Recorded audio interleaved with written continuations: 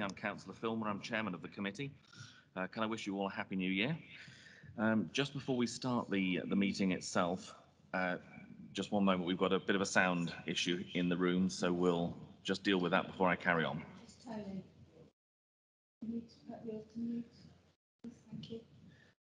It's your, it's your speaker, not your microphone. It's not. It's done. Excellent. Okay, is that clear? Let's just try again. I think I think we've got rid of the echo now, so we're okay. Yeah. All right. Let's make a start again. Uh, welcome you all to the committee. I'm Councillor Filmer. I'm chairman of the Development Committee. Uh, can I wish you all a happy new year? Um, just a few housekeeping notes before we uh, make a start on the agenda today. Uh, I've not been advised that there's any planned fire drill here in the canal side, so if the alarms go off, then they are real. The exits are through the doors at the back of the room, and if you can make your way safely out, that would be appreciated. Um, there are toilet facilities located at the back of the uh, the room if they're required, and if anyone requires uh, a drink during the meeting, there is water to the right-hand side of the room as I'm looking at it. Could I ask if anyone who is present uh, who has a mobile phone either online or, or with us in the room, if you can make sure it's either turned off or turned to silent, just so it doesn't interfere with the, uh, the sound system or interrupt the meeting. Just so again, you're aware of who's in uh, front of you today on, on today's meeting. Uh, to my right in the room are, are officers from our Democratic Services, uh, our committee manager. To my left are officers from the Planning uh, Development Department, and they will be presenting and uh, giving us the background on all the applications today. Uh, joining us virtually, uh, if I could welcome Paulette Ted, who's from our legal section, who is our legal support for today's meeting. Welcome to the, to the Development Committee. And on the wings of the room that I'm sat in at the moment, to my right and left are the councillors who will be debating and ultimately deciding the applications before us today. Just to, to remind you, today's meeting is being held as a, as a hybrid meeting. Uh, that basically means that the members of the committee who will be making decisions today are all within the room at the canal side, uh, but we're also being joined virtually by officers and members and by members of the public.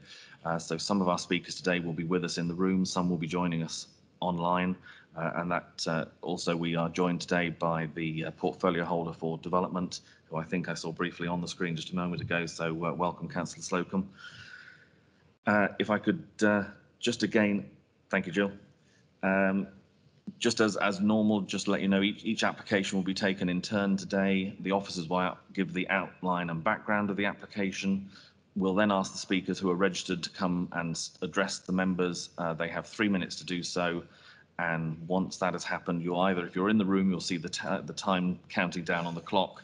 If you're virtually with us or on the phone, we will just interrupt you when there's a minute of that time to go so that you can uh, wind your comments up before you run out of time. I think that concludes uh, all I'm going to say in terms of the opening comments. So we'll move on to the agenda itself. Uh, item one on the agenda is apologies uh, for absence. And Mrs Nicholson, are there any? I'll let you come and use the mic. Thank you, Chairman. I've received apologies from Councillors Granter and Revens. Thank you very much. All other members are present. No, they're not. There's almost all other members are present in the room. Um, so next item is urgent business. I've not been advised that there's any urgent business that isn't covered by our agenda today. Uh, the next item is uh, public speaking time. I've outlined to, to members of the public, for those of you who registered, the procedure will follow today. So uh, that's covered.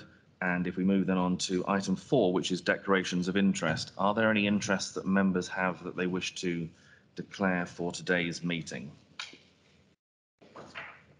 Yes, Councillor Scott. If, if you just wait for the microphone to get to you and then and, and, just a reminder for all members, if you can wait for the microphone, because although we can hear you in the room, if you haven't got the microphone, all those who are online with us can't. So, uh, Councillor Scott. Um, yes, it's just that I'm the ward member at Axevale for the um, second item on the agenda and I'll have to declare an interest with one this afternoon, but Layla has the details. Thank you. Councillor Kingham. No. yeah, you're coming on now.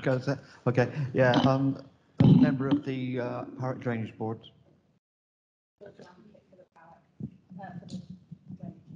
Okay, so uh, I need to declare a couple of interests as well. Um, one is on page 28 and the other is on page 40, which both fall within the uh, my county council division. Uh, I attend the parish council meetings, but have taken no part in the discussions of, of the applications before us. And again, just as a, as a explanation for, for members of the public, the, the drainage board issue is there are a number of members who sit on this committee who are on either the Parrett or the Bruax drainage boards. Um, they're, they are a, a consultee. They often make comments as a, as a drainage board. Um, again, what members will declare is that they've taken no part in, in those comments that have been made by the drainage board. If they have, then they'll obviously let us know and they'll take no part in the discussion on those applications. Councillor Pearce. If we just wait, I, I think again, just a reminder for members, what's happening is when we go to the microphones, it's have, those microphones are having to be just dialed up. So give it a couple of seconds that, uh, that will then come in. We okay? So it's Okay, thank the you. one at the front. Yeah, Thank you. Personal interest as a member of the Parrett Drainage Board, but taken part in no discussions. Okay. Councillor Betty? So, Personal, personal is a member of the Parrett Drainage Board as well, but no um, discussion has been taken. and I think, Mrs Nicholson, you've got a list of all the drainage board members. So for all drainage board members, we'll now mark that as declared. Okay. Are there any other declarations that members have? Okay. For, for members of the public, again, it's just to make sure that if there's any background that members have on an application, that you're made aware of it and the committee are before the, the discussion.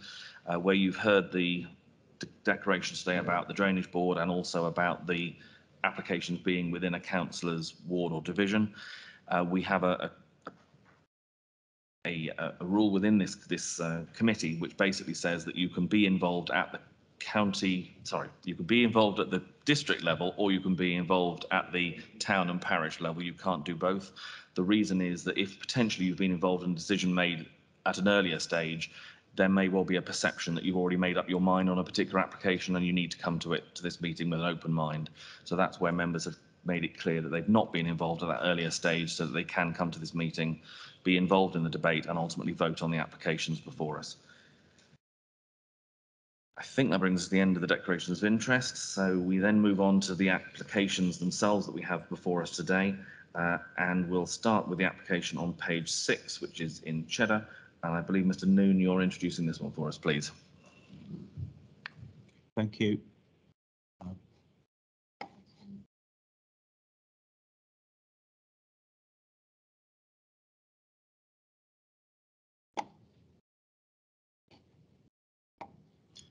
Present the screen.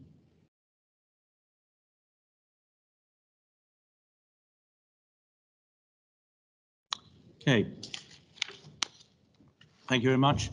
Um, this is an application for the approval of the reserve matters in relation to the scale, layout, appearance and landscaping of a scheme for 96 dwellings at Round Oak Farm in Cheddar.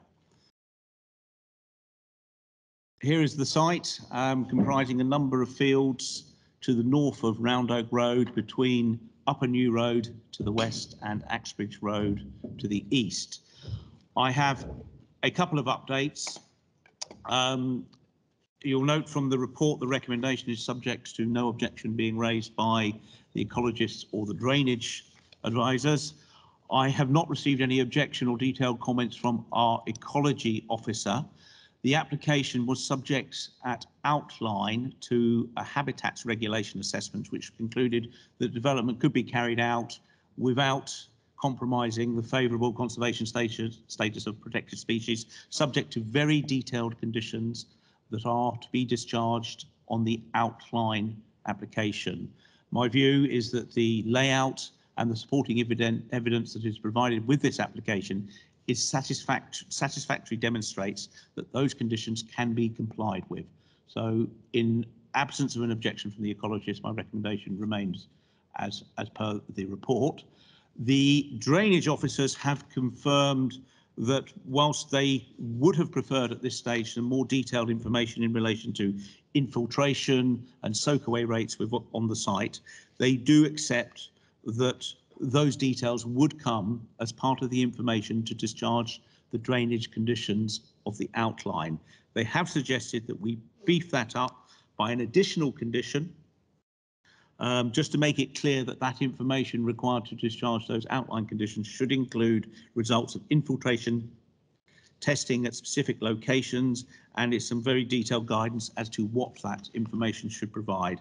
I think that is a reasonable thing to recommend in the circumstances. So that would be an additional condition as suggested by the uh, lead local flood authority. Further updates I've received, um, the police design officer has- welcomed um, some changes that have been made within the, the plans um, to provide for better surveillance of the community orchard and that the gates have been added to the rear access ways of certain plots. These were reflecting comments they made on the initial consultations uh, to ensure that things meet the um, standards of the, of the secure by design guidance. A housing officer has come back, um, has confirmed that the, this reserve matters application does honour the earlier approved um, details set out in the section 106 attached to the outline permission. He's happy with the uh, quantum of affordable housing. Um, the detail of the mix, tenure and sizes is consistent with the agreed housing, affordable housing schedule. Um, these were considered carefully at outline stage with a housing schedule agreed to complement the affordable housing plans on recently delivered sites. So in, in summary, he looks forward to seeing this project coming forward and hope to bring families in desperate need, um, bring families to uh, an affordable housing, affordable home in Cheddar, which is desperately needed. Um, in terms of uh, further updates, Natural England have confirmed their position um, nay, uh, and do not wish to provide any further comments uh, on the provisos that this scheme uh, delivers what it was required to do at the uh, outline stage, which, as I say, I, I feel it does. Um, they note that we're not in a phosphate area here where development would have to deal with increased phosphate runoff. Um, they confirm that you know, the uh, impact on the area of outstanding natural beauty is a material consideration that is dealt with in the report. Rights of Way officer has provided, has confirmed that they have no further comments as a result of the, the reconsultations, which were essentially to deal with a number of technical matters that were raised during the initial consultation. In terms of the report, a couple of um, what well, one specific error in there that I do need just to sort of confirm the the CIL amount. Um, unfortunately, the calculation there put the decimal plate decimal point in one in the wrong place. It's it's out it's out by a factor of 10, so it's 1.1 million or thereabouts. So move that decimal point from 11 million to 1 million point something. Um, that unfortunately sneaked through. Um, in terms of the plans list, there is one missing plan that isn't referred to there. Um, I've got a drawing number for that. That would need to be added, and they, uh, which is for a um, the two bedroom maisonettes in the affordable schedule. Uh, but I've got a drawing number that needs to be added in there, and there's a chimney plan in the approved list that's got one digit missing off the end of it. It should be uh, triple one at the end rather than 11. Um, so those two, those amendments to the plans list and the additional condition as requested by the um, lead local flood authority the changes to my recommendation at the end.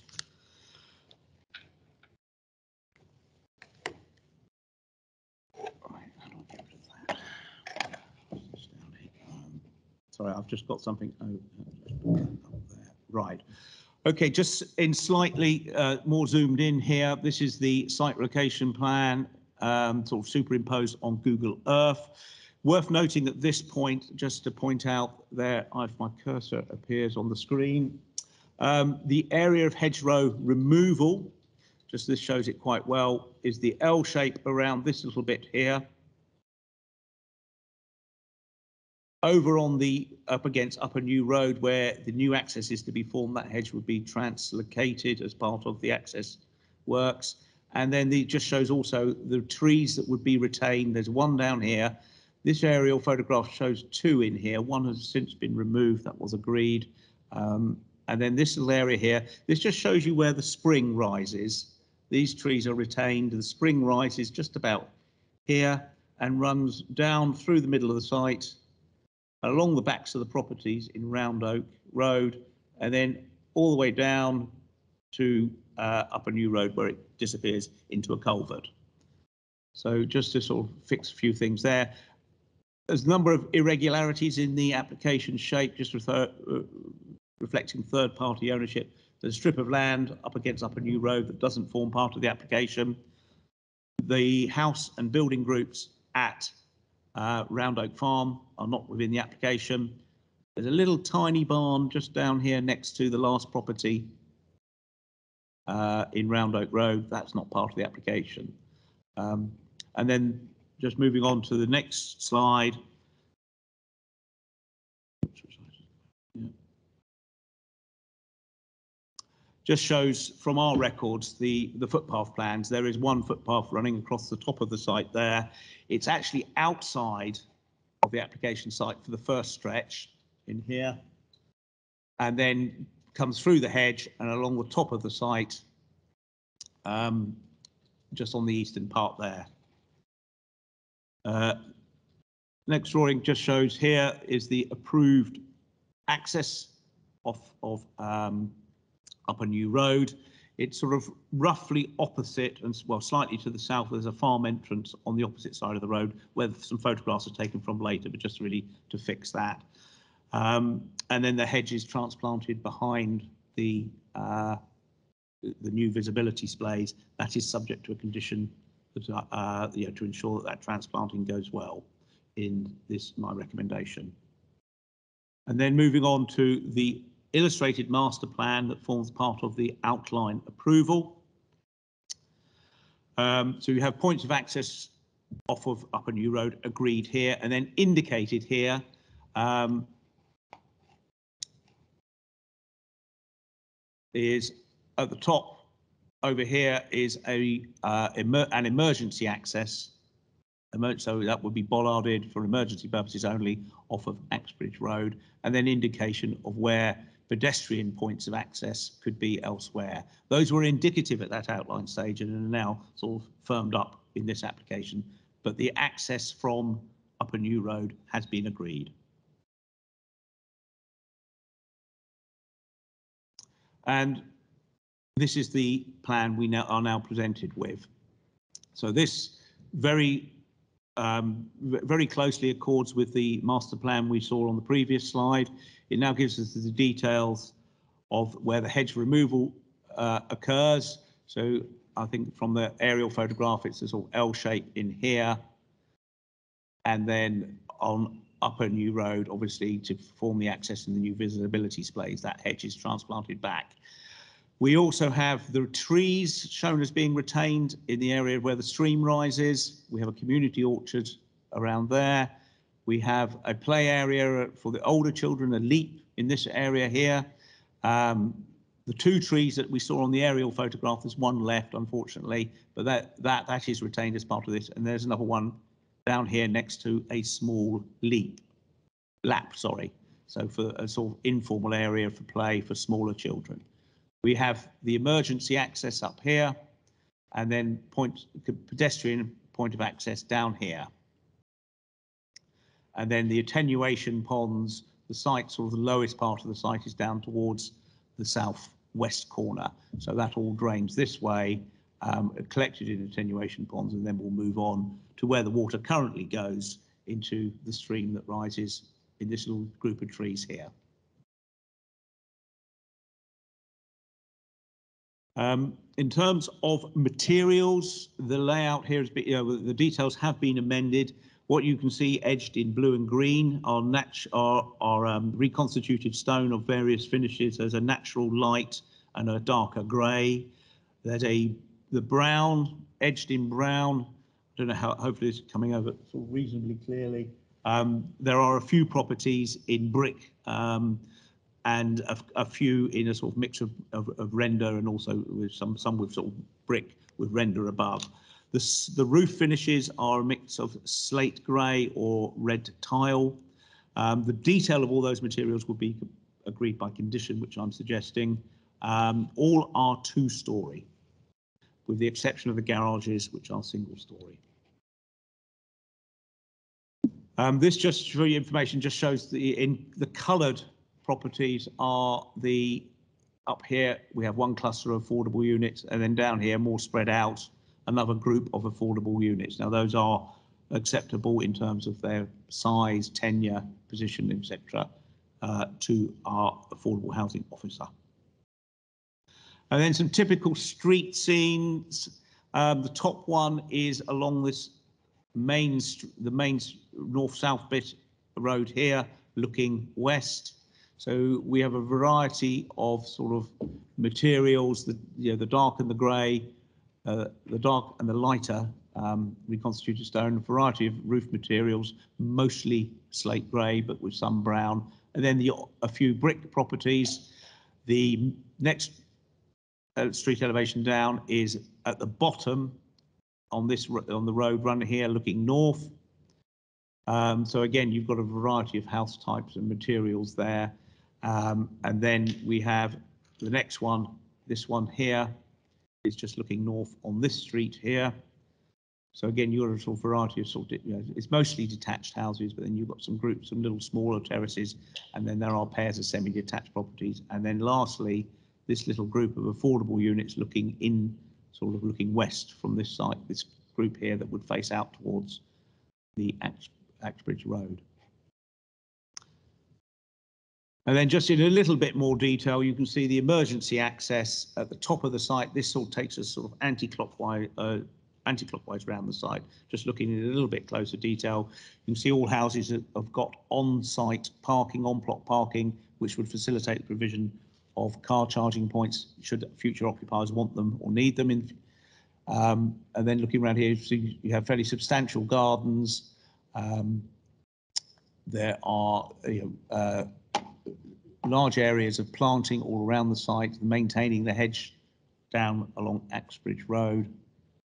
And then coming down to the bottom corner, you can see here the retained group of buildings here at Round Oak Farm, and then this little outbuilding, little farm building down here is retained. And we have a, a little leap here with a landscaped area and a retained tree around it. And same over here for the the leap and then sort of the lap there. Um, and then just the detail of attenuation pond. Uh, and you can see here the sort of property sort of set back and offset relative to this property in Round Oak Road. This is a bungalow here, and you can see they're sort of pushed to one side to maintain a sort of outlook for that property north on its north side. Um, and this is the the stream just goes off out of the site and runs along the back of these properties here.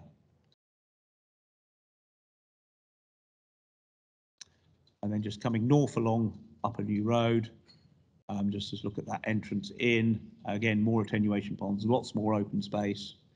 The little cluster of 15 here, again, up against um, Upper New Road, you can see the detail of the access there with a new turn right into the site lane within the carriageway.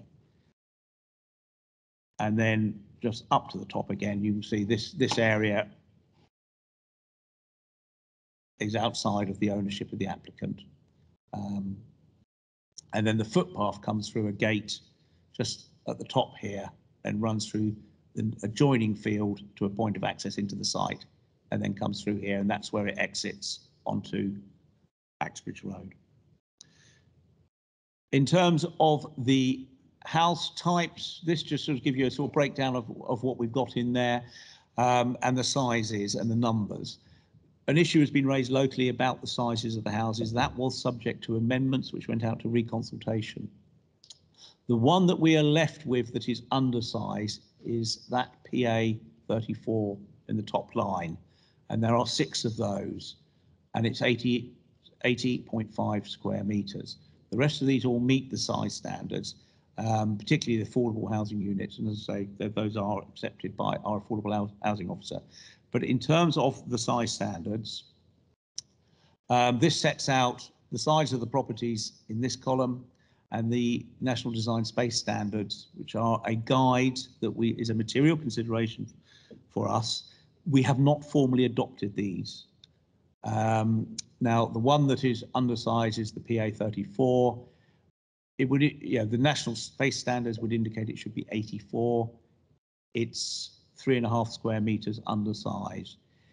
There are six of those properties. That is not considered to be such a deficiency that it would justify us making an issue of this particular house type. There's a whole variety of them. Uh, all the other houses all meet these sizes, and in this instance, it is not considered that this is a, a, a deficiency that leads us to recommend refusal. So just quickly to run through the house house types here. This is the uh, what the one bedroom maisonettes. Um, so you've got a uh, it's a one one uh, one below, one above. So it's sort of know, little little block of uh, apartments, as it were. Um, the two bedroom house type for the affordable. Um, so you essentially it's the same house type, but you get different options on the materials. Uh, again, the affordable three bedroom units, again, is the same, the house type is varied by the use of different materials. Uh, then moving on to the market housing types, uh, again, a lot of mostly four bedrooms here, um, varied the appearance through different use of different materials. There is a chimney plan. Not all plots have got chimneys, um, but they are scattered throughout the site such that you will get a, as a roofscape with a bit of variety on it.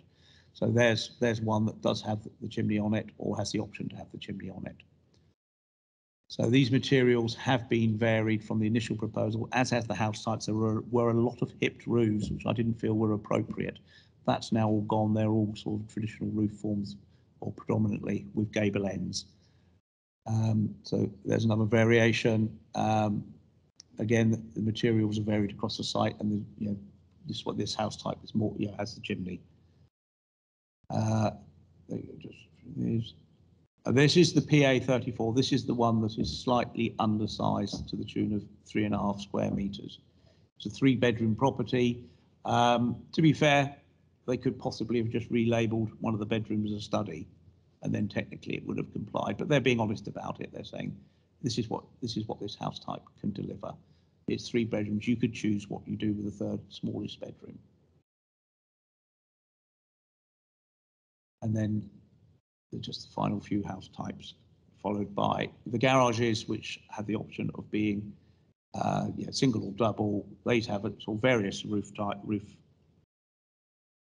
roof types, and then there's the brick variation as well. Um, which for an outbuilding, I don't think there's so much of an issue. I think we were anxious to get to move out, move away from the brick for the house types, but for the ancillary outbuildings, I, I don't think it's a real problem. Right, just to sort of, before we go round the, um, the photographs of the site, just going to start in the southwest corner, down near the junction of Round Oak Road and Upper New Road, and then go anti-clockwise around the site. to Hopefully give you a feel of what we've got. So first one of those there, just on Upper New Road, looking across the site, that's the rear of the properties in Round Oak Road. Mostly there would be open space backing onto them. The ones on the left-hand side, so the eastern end of this, those are the ones that would have the house type, know, the new houses next to them. Um, and really, it's only the last one or two that would, you know, see have an obvious difference to the rear. Moving into Round Oak Road, just to give you a feel of what we got in there, there are sort of most bungalows at this western end of Round Oak Road. Looking back across the junction of Round Oak Grove, you can see the sort of, you know, it's mostly render here.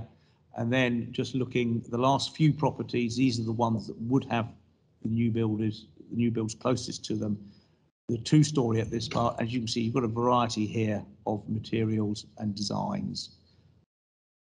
And then just going past that point, looking back, you can see in the bottom picture the roof of that built little barn that's not in the site. And then there's a bungalow. That's the one that would have the two houses nearest to it of all the existing properties. And then the top ones just give you a little bit closer detail of those those houses. Stood in the site, looking back at that bungalow. So as you can see, that that has a number of windows there. That would look out onto the gardens of the nearest properties. They would be sort of framed. If you look left or right out of the back of that house, yes, you would see the new houses, but essentially your outlook is across those their gardens, looking north. Um, just stepping round there is the retained tree that will be next to that little lap, that little local area of play space, and looking across towards, in the distance there, those other houses on the other side of Upper New Road. And then just right up to the furthest end of Round, the eastern end of Round Oak Road, that is, this is the group of the buildings at Round Oak Farm. Um, that's the current south side. The Google picture here is slightly out of date. There's a fence gone up along that southern boundary in sort of this position here. And then looking from the other side, that's of from within the site, looking in from the north. So it's basically the backs of those barns that look uh, that look out into the site. Just so that's taken us to this point here, looking at this group of buildings, and I'm just going to run up to the top here. Uh, so there's the junction. There isn't a pavement along Axbridge Road, so there's not been a lot of emphasis in fronting the buildings onto there to create a street scene. Uh, very difficult to provide a pavement within along there, and, not a requirement of the outline. So the houses are sort of within the site, and they're more focused in that way. But there would be the opportunity for that um, emergency access and the footpath to come out there. Those just to give you sort of view, the, this the building group at Round Oak Farm, they sort of their entrance is straight out onto Axbridge Road, and they're very much focused that way. And just give you an idea of the the the hedge. That's obviously summer, and I've got a few photos coming of sort of more winter, winter here. So that's just stood up in the top corner there. You can see uh, there's the there's the build the farm buildings, the retained tree that is now a single tree in this area here. You're just beginning to come in on the right. These are the group of trees at that top of the stream. From the time of the outline application from Venns Gate, um, just looking more or less the same view, those are the group of retained trees. The, this top one has since been lost, unfortunately. Um, but Axbridge Road sort of is sat in this, in between, behind this hedge here. But it gives you a slightly more elevated view and in summer as opposed to my photographs, which are very much winter. And then just coming in along this top northern edge here around the back of this little outbuilding, this sort of sort of storage building that goes with the adjoining land. There it is there. Um, that's that little triangle. The footpath runs along this edge and across and out through onto Axbridge Road. Um, looking along that northern boundary, that's essentially the line of the footpath. You can see the properties over there in Venns Gate and that barn. Swinging the camera around, that's where the stream rises, just here, and then goes down through the site and is made a bit of a feature of us by this application. And there it is, it comes out, there's a sort of head wall and it comes out, there's quite a flow when I was out there at the end of last week. And it opens up into this area of open water and then sort of almost like a water meadow, and then is contained in a channel along the hedge line down to the southwest corner. Um, this is just looking southwest across the site uh, to the backs of the properties in uh, Round Oak Road. Uh, just looking through, this is the um, the field that is retained as a field. There's no development going in this field. Uh, that's that. That was that little field there. And then just coming down the west side, it's courtesy of Google Earth, this is where the footpath goes, comes off uh, Upper New Road, goes in that through that field and out towards Axbridge Road. This is that little paddock in behind the hedge there that isn't part of the application site. And then just all looking uh, roughly from the top of photo, looking roughly from the point of access, looking north. That's dates from the time of the outline, and then sort of looking north but from a slightly different point on the view on the other side of the road, just to show the site now um, in the in the depths of winter. Uh, looking roughly the same point um, from the outline application and from last week, just to give you a flavour of the site, the, the hedge has obviously been neatly cut back and is currently the field there being used for grazing sheep and then just looking across the hedge, you see at this point in time, there were, this is the outline time, uh, you've got two trees there. Unfortunately, the, the, this one, the thinner one, has since been removed. And then just, again, just look at some, some views across the site from uh, a New Road, looking northeast, just to give you a flavour of, of, of the site in both summer and winter. and looking towards the backs of the properties in Round Oak Road. And then finally, just roughly from the point of access looking south, so this hedge gets pulled back into the field um, to create the visibility splays. So to sum up, in terms of the principle of development, the site has been allocated in our local plan. Outline permission has been granted, which has set a number of matters in stone.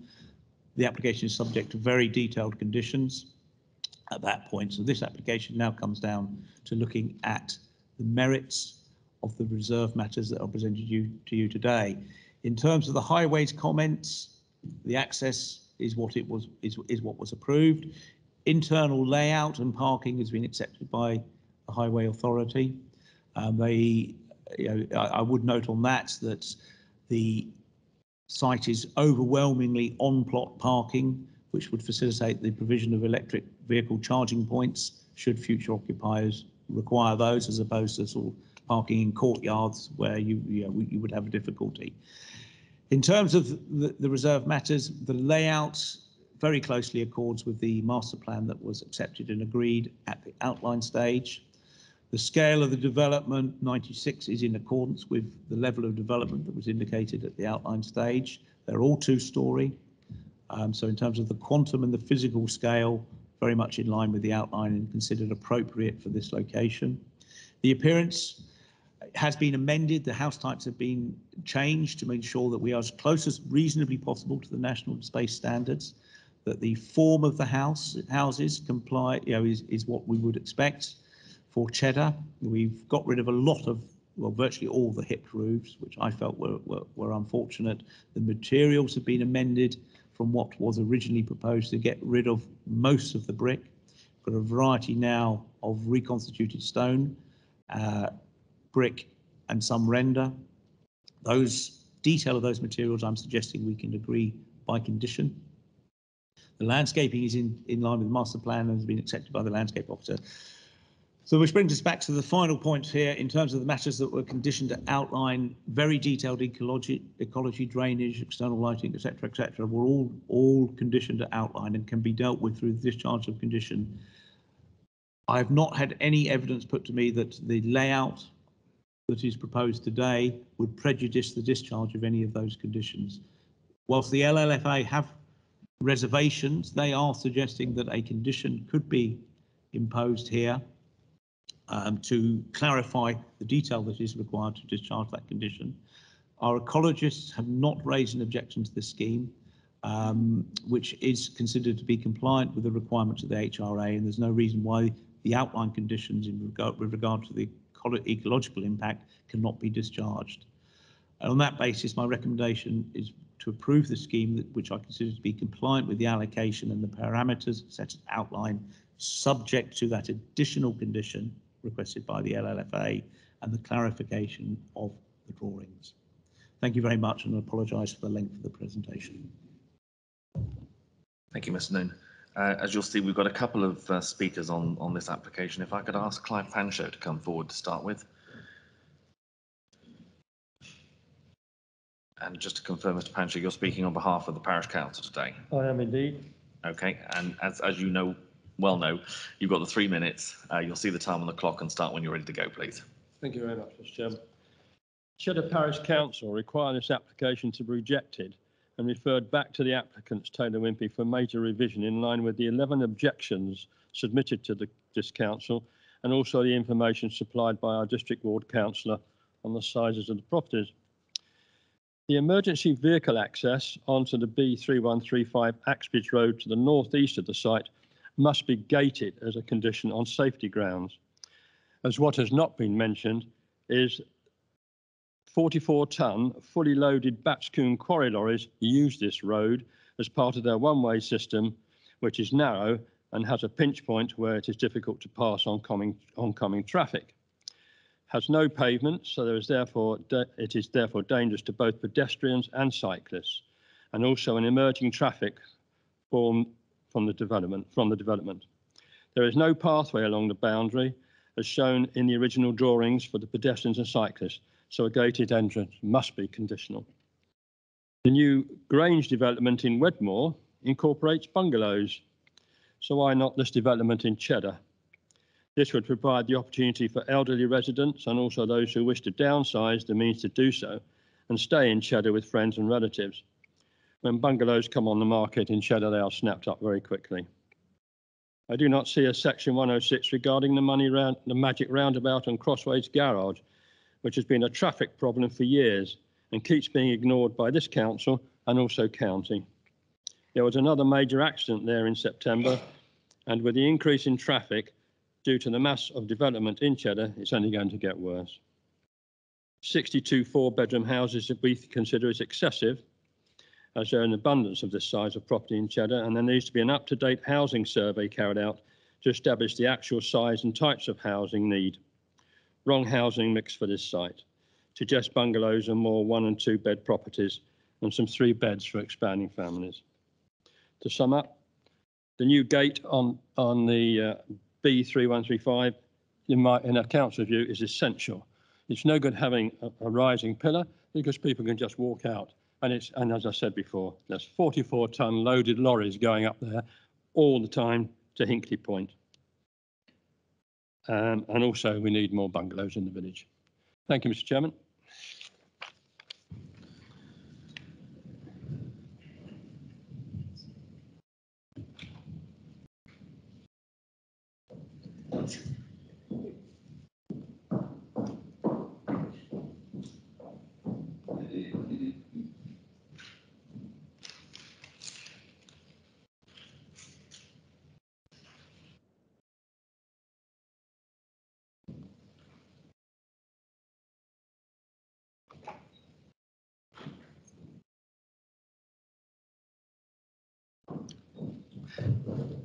Much.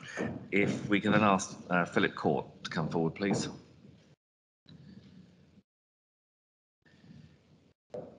Thank you, Chairman. Just to remind you, you've got the three minutes. You'll see the time on the clock and start when you're ready, please. Hello, my name is Philip Court. I'm the Technical Director for Taylor Wimpey Bristol. Having worked closely with officers and responding to various consultee replies, the layout mirrors the master plan and provides ele- ecological benefits agreed at the outline stage. It equally complies with the recommendations of the Habitats Regulation Assessment carried out for the outline. The resultant density for this application is very low, allowing for the retention of the key existing species-rich habitats such as the trees, hedgerows, Hawaii stream, wetland area, improved grassland, allowing the provision of substantial areas of ecological uh, rich open space and landscaping. The retained and enhanced features, such as the proposed community orchard, help to provide a soft edge of village and reflects the existing pattern of development in this area, thus alleviating impact on visual amenity from adjacent areas. Sensitive external lighting will be used to provide for both the needs of future occupiers and the need to protect bats and views from the AONB. All bar six of the 96 homes will meet or surpass the requirements of the National Design Space Standards. The accessible homes will achieve a high energy efficiency and sustainability criteria exceeding Part L of building regulations in terms of emissions, energy efficiency and water usage. Moreover, as, um, as to assist in the translocation um, transition to low carbon transport, the homes will provide external electric connection points to all homes which have curtilage private parking this will allow owners to easily install electric vehicle charging points to suit the vehicle they choose. Taylor Wimpey's construction specification includes a fabric first approach to high levels of insulation in the roofs, floors and external walls of each home. Our glazing specification achieves robust standards of thermal efficiency paired, paired with solar transmittance values which aid the benefits of passive solar gain are independently assessed construction details achieve impressive overall building insulation values, limiting heat loss from the building. The measures are incorporated into the very fabric of the buildings and will therefore persist for the lifetime of the buildings. Thank you for the opportunity to speak at today's meeting and I hope my comments will help with your deliberations.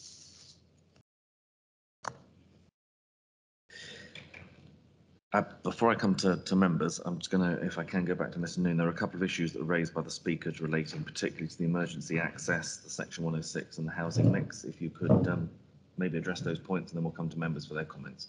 Thank you. Thank you.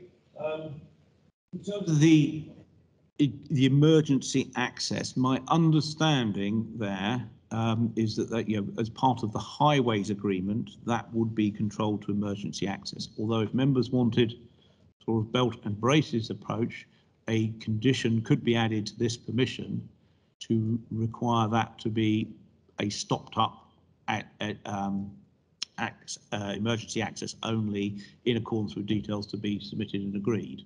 Um, so we could address that. My my understanding is very much that that is would be controlled through the highways agreement um, that will be running in the background. But that is a condition that you could suggest to be added if you felt you wanted that belt and braces approach.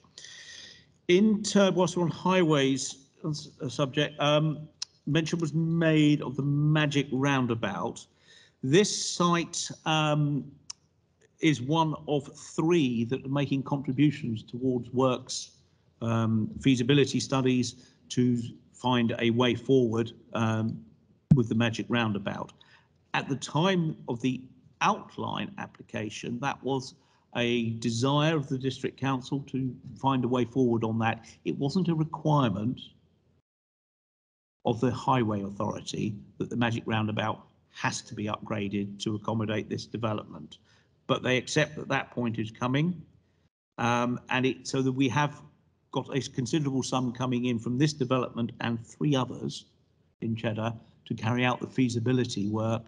Um, and there are some drawings at draft stage circulating around um, to find a way forward on that. But that is the only requirement on this development, a, a contribution towards feasibility studies, um, which is not in dispute. In terms of the houses that have been are, are proposed for the site, there is no sort of obligation, as it were, on the developer to provide bungalows. Bungalows tend to be more sort of, unless there is a specific demand from the affordable housing officers for a bungalow, they um, very rarely, unfortunately, on these large developments, do we see developers coming forward with bungalows as part of the market scheme, the led scheme. I think we have no tool to force them to do that. Um, the it comes down to the matters of design. And has does this proposal, you know, are there any parts of the site that demand single-story dwellings on them for design reasons? I don't think there is a credible case to say that. Um, so I think in terms of the house types being two-story, I don't think that in itself is a, an issue that we can um, demand the developer addresses and changes that. In terms of the mix of houses, um, yes, there is an, a, a dominance of four bedroom units. Some of those are smaller than others. Some of them might be three bedrooms plus a study. But in terms of the flexibility of the way they are used, um, that would come with the, you know, the, the, the future occupiers would have the choice to use it as a three bedroom plus a study or four bedroom. Um, the mix, I think, is, is reasonable for the type of site we're dealing with in the location we, we are dealing with here. Uh, the affordable units, that's the bit that we, you know, the, any housing survey might need to address. We don't say to developers of schemes such as this, you need to go out and do a housing market assessment to justify your choice of a market housing. But what we do look at very carefully is the affordable element, and that, in terms of its size, tenure, etc., etc., meets the requirements of Section 106 and the affordable housing officer's expectations.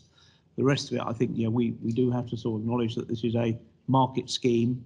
Um, the house builder would not be proposing that, that house sites that they didn't think there would be a demand for. And I don't think there's any evidence to show that this is so wrong as to constitute a reason for refusal of planning permission. If we then come to members for comments and questions, I've got Councillor Kingham and then Councillor Bold. So Councillor Kingham. Okay, um, thank you, Chairman. Um, I- admittedly, we've um, approved the outline for this development, so obviously that will mean that it will go ahead. We have a development here which is to the north of Cheddar, which is regarded as a village, which extends the village to the north. It's good to see that the officers have got some say in the design and the type of houses within the site. But I still think it's still very urban rather than rural design. And it's good to see that some, only some houses have got chimneys. Good to see that somebody's putting chimneys back on, even if they're only false chimneys. So I think a, a little bit more probably could have been done to design to, to blend it in with cheddar, but uh, obviously it's um, what we've got on the table today we've got to look at. So I reserve the to come back later. Pass the microphone down, or you've got the mic. Thank you. Councillor Bolt then. Thank you. Um, i- i- Going back to the existing footpath, which is running along the, the top of the uh, development, does that cross the uh, Axbridge Road? Or does it run along the road? Um, the rights of way records that we've got is it is a connecting from Axbridge Road running to the west, so it doesn't. There is staggered, I'm guessing, historically. The route was it did zigzag there, but it doesn't come out, doesn't go, it doesn't go straight over Axbridge Road. The So to, to actually access it, it- at this time pedestrians are having to use that busy road without the footpath anyway. Yes, yes, they, they have to deal with Axbridge Road when they get to the eastern end of it. In my opinion, it's not heavily used at the moment, but I can't say that for the rest of the year. It was electric fenced off because of the sheep.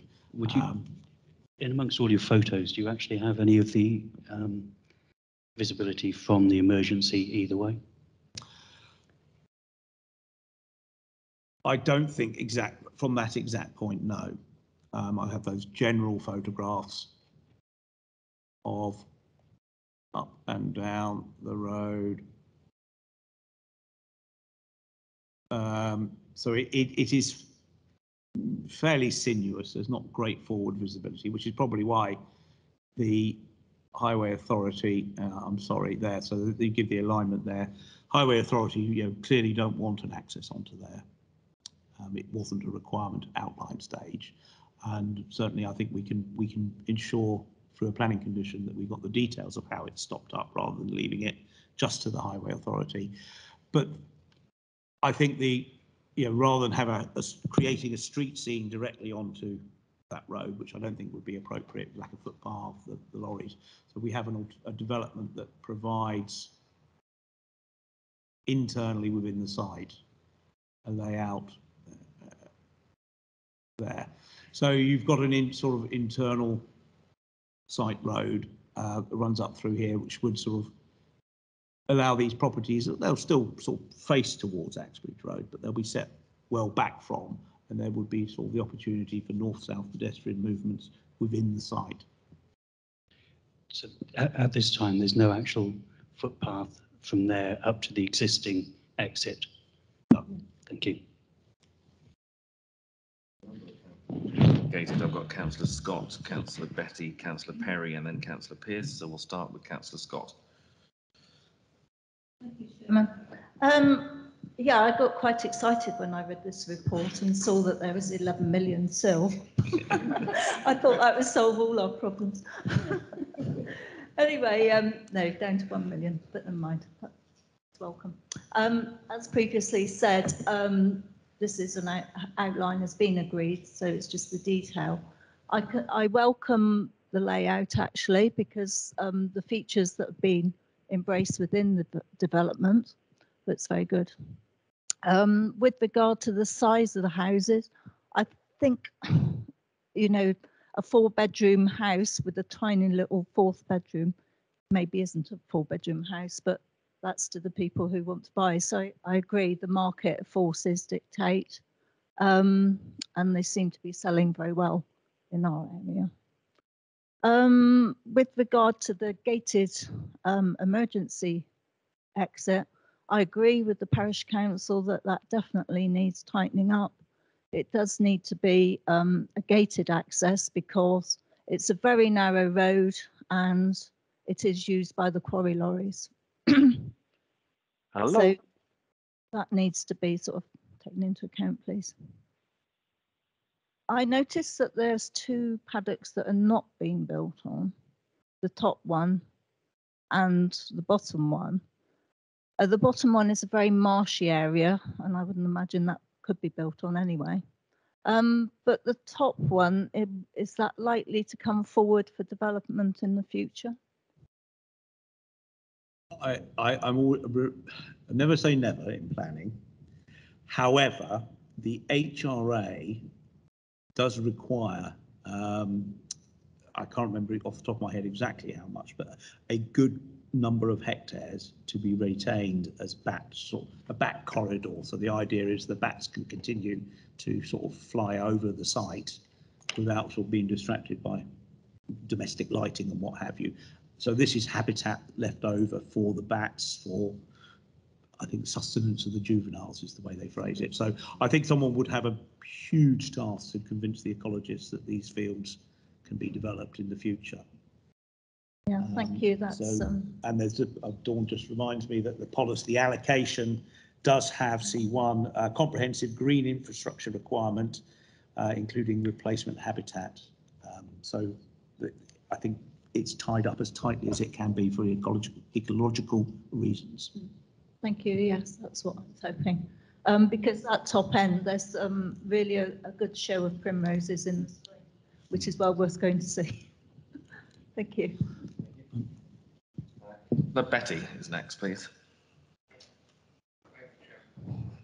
Thank you, Chairman. Um, I was going to ask about the top paddock as well, um, which Councillor Scott beat me to.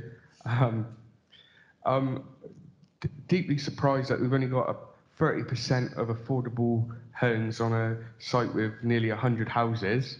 Um, the other thing is that there was, um, we said earlier about there's six houses that are below standard size. Um, it seems odd to me that there's also six houses that are going to be for affordable to be bought. Um, are these the ones that are going to be below the standard? If so, I don't think it's correct for them to be affordable if um, they're not going to be the correct size. Um, no, the, the, the six units are, that are undersized are the PA 34s, which are market houses. So all the affordables here and the intermediate ones, they're the ones that would have the ownership option. They're all to standard, to national space standards. And sorry, just uh, 30, 30%, um, that is the re- policy requirement. Um, so they, they meet that.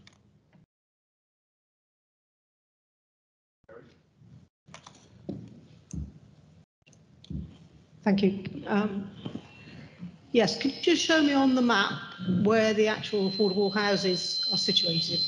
Sorry. That's okay.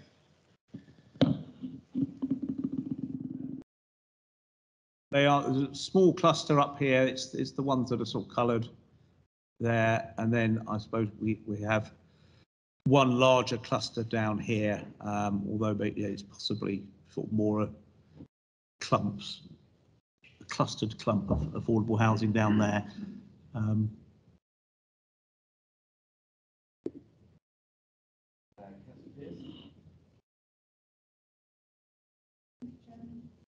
not- Yeah, that's better. Thank you. Um, yeah, it's good to see a good amount of green infrastructure retained for the reasons given. I've just got two questions. On the artist's impression, it showed a tree outside of many of the houses, and I see on the on the plan it looks like there's some planting there, but I just wanted to check they were going to be sort of smallish trees rather than shrubs. And also, it was a question about the lighting. Mr. Um, Court did mention sensitive external lighting, and I was just um, checking that it complied with the AONB's officers' comments, given that it is so close to uh, that area. Thank you. Um, yeah, the the only large trees that we've got shown on this plan are the retained ones at the top of the stream and down in these areas of open space. All other ones here are shown as new planting as part of the landscape scheme. Those have been chosen to be appropriate in size to their sort of domestic location. Um, obviously, the community orchard will be something more substantial, as will sort of some of this structural landscaping down Axbridge Road. In terms of the lighting, yes, that is a very, I suppose, a very important issue locally. There is a detailed condition on the outline to agree a lighting strategy, uh, not only for visual impact from the uh, AONB, but obviously also to deal with, with the bats. That we need to be pragm, you know, I do, we do need to be pragmatic on that in that we will certainly be looking very carefully at the street lighting and the lighting for footpaths and whatnot within the site. Um, I think we have to acknowledge that the development of this site will change its character from fields to a new housing development. I'm, I don't think I would be saying here today that we can rigidly control what every single one of the 96 future occupiers does by way of security lighting or fairy lights or whatever it that they choose to put in their garden. I think we have to accept that level of change, but certainly within the public areas, we will look to control very tightly. Thank you very much. The next speaker is councillor Facey and then councillor Hendry. Yes, thank you, Chairman. Uh, Very good debate, Chairman. Uh, Appears, I realise that the uh, parish is not completely happy with it, but I do note that the uh, developer seems to go along as much as he can do uh, to uh, accommodate everybody's different views on it. With all the recommendations uh, and the guidance from the officer, Mr Noon, uh, I would like to uh, move to Chairman that we grant approval. Thank you, Thank- Chairman. Thank you. Could I just double check? So it was the, the issues that Mr Noon had raised. Yeah, correct, Chairman. Were you also looking to have the condition that was suggested from councillor Scott about the, putting a condition on relating to the gated Yes, Chairman. access? Okay. And you're happy that we can work up wording of that to be agreed with chairman and vice chairman? Okay. Yeah, that's fine, Chairman. Thank you, councillor Facey. Councillor Hendry, Morning, Mr Chairman. Happy New Year to all the councillors. Can you- Thank you, Adrian, for. Alistair, can you hold it just a little bit Sorry, nearer? Thank hear you. me now? Morning, Mr Chairman. Let's do it again. Happy New Year to all the councillors and thank you, Mr Noon, for letting me. It's the first day of a new year, isn't it? It's the first meeting of a new year. You have to be polite to everybody. Okay. I'm happy with the presentation, agree with everything Councillor Facey said, and I'm happy to second them. Thank you. Sorry for taking so long.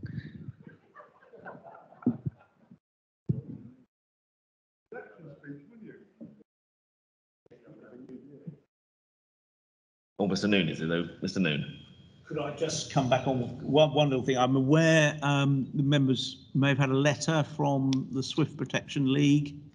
Um, I just wanted to sort of just just to acknowledge that um, there was a lot of correspondence from the Swift Protection League, and I have added condition five um, specifically to deal with the issues they raised to require Swift bricks, swallow cups, sparrow terraces, and hedgehog friendly fencing. Just added that in on top of the original requirements. And there was one thing, um, apologies, I should have raised it when I was talking about the uh, new access. Uh, my attention was drawn to condition three that requires the translocated hedge to be maintained in accordance with the agreed, agreed details for five years afterwards. Upon reflection, I think that may be a little short. A translocated translocation of a hedge is a big operation. I think we should maybe consider making that 10 years rather than five, just to really make sure it does take. If it doesn't take, we will have an opportunity to get something in that would be suitable. There is always a risk with translocating edges. so could we change that to 10 in condition three? Thank you. You're happy with that Yeah. update? Yes, Chairman, already picked that up. Um, On the re, um, number three, completely agree with Mr. Noon, goes for 10 rather than five. And uh, all the dicky birdies, et cetera, et cetera, on number, number five. The notices missing, another mention of seagulls, Chairman. Thank you. And councillor Hendry is seconder, you're happy with that too? Okay, so members, you're clear then, the recommendation that's been put forward and seconded is to grant permission with those amended conditions. All those in favour of that, please show. Appear to be unanimous. So that is clearly carried uh, and is unanimous. Thank, you. yes, Mr Nicholson. Had a message from the legal officer, was this letter received within the deadlines? That doesn't really matter, does? It's like the Swift. When was the letter received about the um, The Swift? Swifts. My attention was drawn to that, that- that letter. Yeah. Um, It was I believe circulated to members have members. Received that directly, not me. So Yeah. Just Okay. Thank you very much. That concludes the application on, that started on page six. If members could turn to page 20, yes. Sorry, councillor Scott. My computer's locked out. Okay, do we want to? Are members happy if we take a five-minute comfort break? Um, we'll restart then at 22. So we'll, we'll pause for five minutes. Right, members, if you could turn then in your papers to page 28 for the next application that we have speakers present. And we're within the uh, parish of Chapel Allerton. And uh, Ms Chorley, I think you're introducing this one for us, please. This application is for the change of use conversion of an existing building to form a single dwelling house that will include the erection of a rear extension and the temporary siting of a static caravan during the building operations.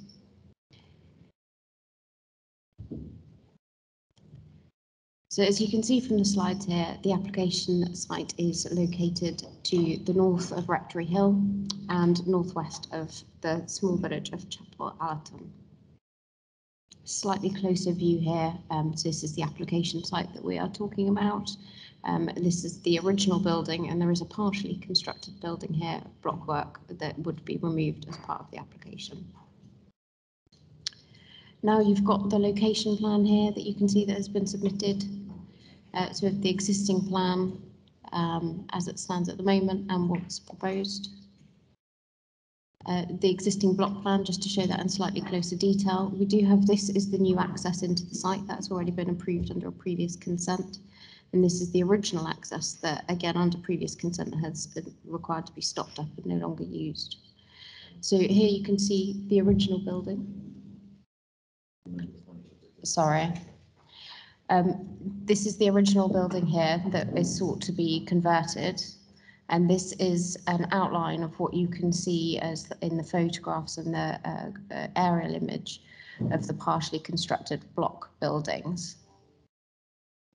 And this is the proposed block plan. So you've got the original building here uh, to be converted, and then this is the extension in effect that will take the form of a, of a Dutch barn uh, with a glazed link connecting it to the original building. It will sit to the rear of the site, so the access is here and you've got three parking spaces, two in the in the rear corner and one just along the uh, roadside hedge.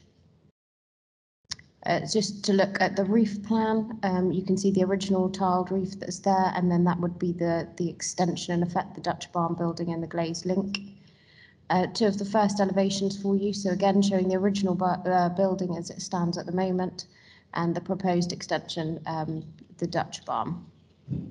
And these are the other two elevations. So moving on to some site images, this is the building as it stands at the moment that's to be converted. This is the elevation that faces the roadside that you can see here on the left-hand side. Um, the building is in relatively good condition. It has um, undergone some works over, over years. It's had various consents, um, as you can see from the report, uh, for equestrian use for the site and the partially uh, built block buildings here would have been additional stable buildings. So just moving around the site, you see some of the other elevations, the two side elevations that you can see there.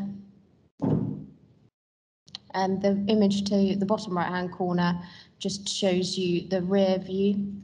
Uh, this image in the top is the um, that would need to be removed by hand. There's a condition, ecology condition requiring that um, to protect protected species. And turning around from that bottom image, this is looking further north so towards the across the fields, um, towards the other other kind of built form that you can see, it's obviously quite quite some distance away.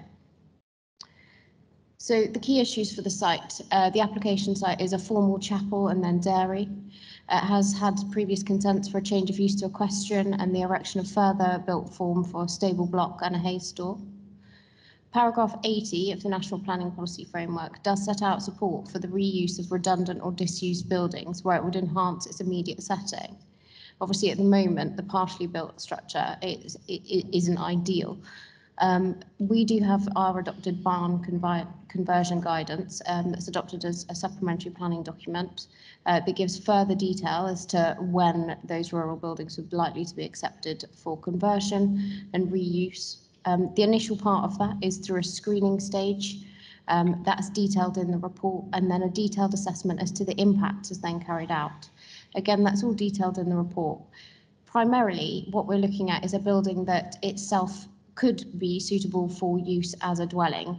Um, it would be a more modest dwelling, clearly, um, probably around two bedrooms if you apply national space standards. The erection of the additional extension will allow for a larger home, a family home. Um, the extension will take the form of a Dutch barn accessed via a glazed link, providing a, a clear distinction between the old and the new. The design proposed has evolved uh, through a pre-application process and the urban designer has been involved throughout. That again is detailed in the supporting documents um, further. Originally, what we looked, what the applicant had looked to do was to reuse the, the footprint that was already permitted, but didn't really give rise to um, a good design solution for the site for residential use. The design that's now put forward is considered to give minimal changes to the original building and the glazed link gives a clear delineation from the old to the new. The layout replicates a tightly knit arrangement of rural buildings that would be likely to be seen in this sort of um, area. Clearly further landscaping would be needed and that would need to be secured by way of condition which is suggested.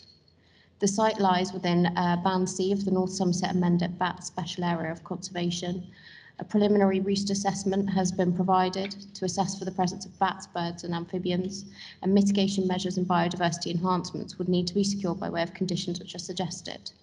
As mentioned earlier, the access is already approved under the previous application and there are three spaces to be delivered. It's considered that there is adequate space for vehicles to turn and to leave the site in forward gear.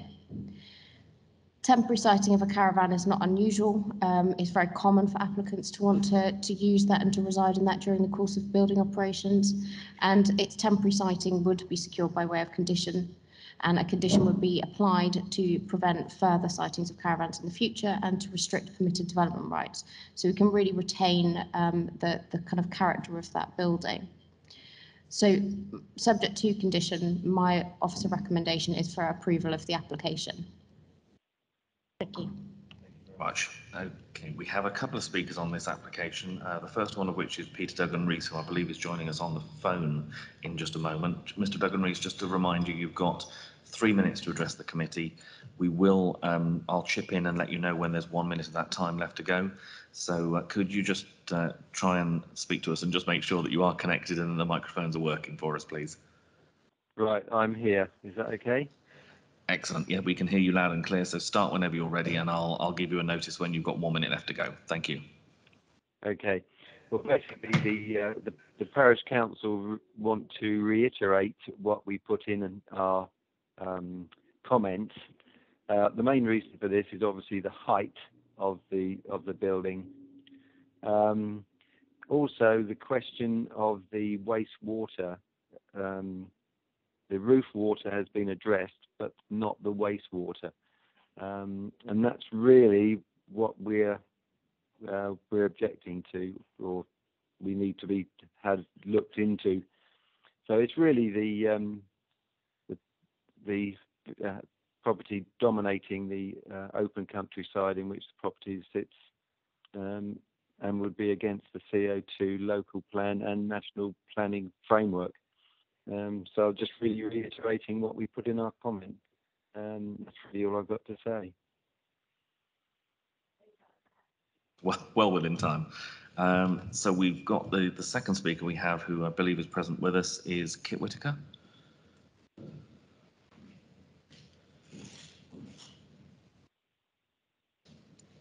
Again, good morning. You'll see the time on the clock. Start whenever you're ready, and uh, you've got three minutes. So. Thank you. Um, Good morning, Mr Chairman, members of the committee. Our family have lived in both Chapel and Stone Allerton uh, since 2006, and we're here today to represent our application. We would like to address the objections raised by the Parish Council. Unfortunately, we were not given the opportunity to do this prior to today, as we were not informed of their meeting and no minutes were published. The, the Parish Council's objections are, point one, it would dominate the open countryside. The design has evolved has evolved over a period of 10 months in collaboration with both the case officer and the urban designer. The historical footprint of the redundant rural buildings on the site totaled approximately 256 square metres, including a two-storey Dutch barn adjacent to the existing Dutch barn, whereas our proposal is for a significantly reduced footprint of only 148 metres square. Point two, contrary, contrary to policy CO2, Policy CO2 does provide redevelopment of opportunities of uh, redevelopment opportunities in the countryside for redundant rural buildings.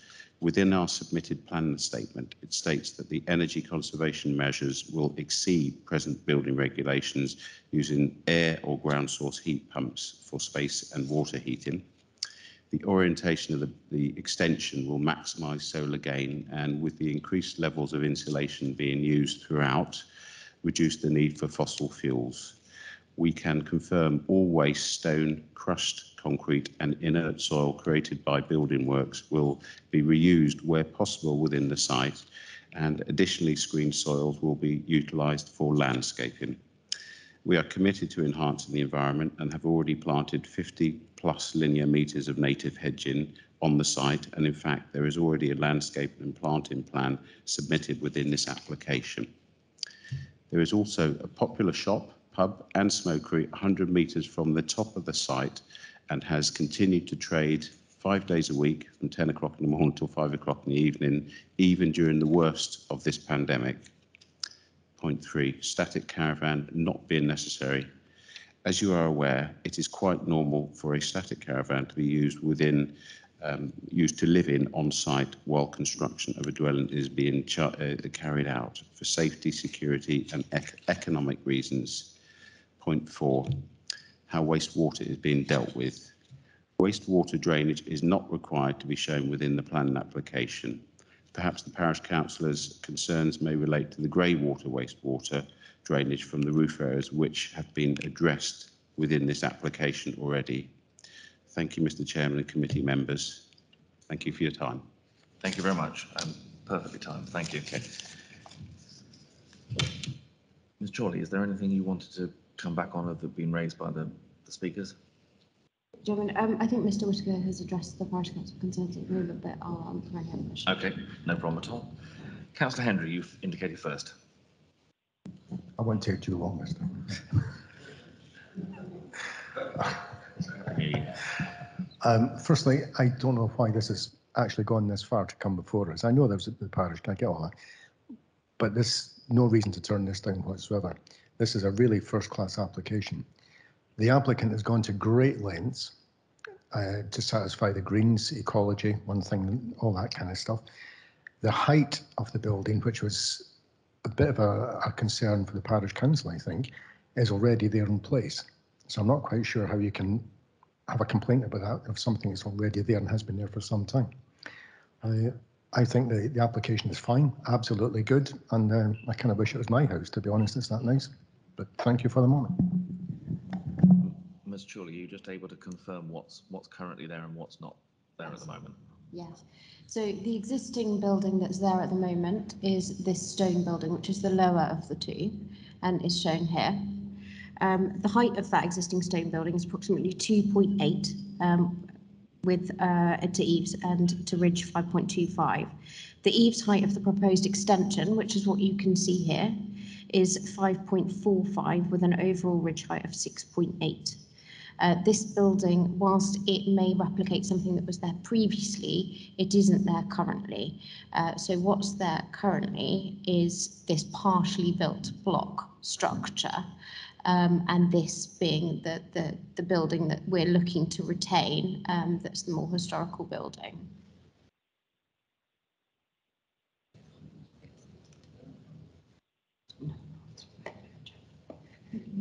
Okay. The other thing is obviously we, we were meant it was mentioned that there was other planning applications that have been made on this site. I was just querying whether we had details of what was held currently in terms of permission on that site.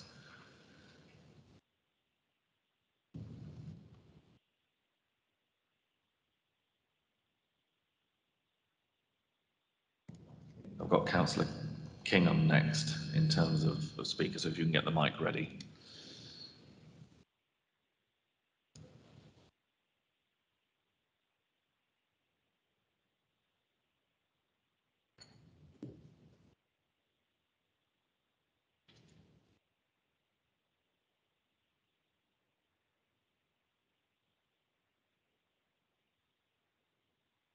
Do you want to go ahead with your question and then we'll address both at the same time? Um, I'm, I'm in sort of agreement with um, Councillor Hendry, actually. Um, I think they've gone a long way to create a design which fits in with the rural scene. And it's quite interesting that uh, if you travel from Wedmore to Cheddar, there's a very similar building being erected there.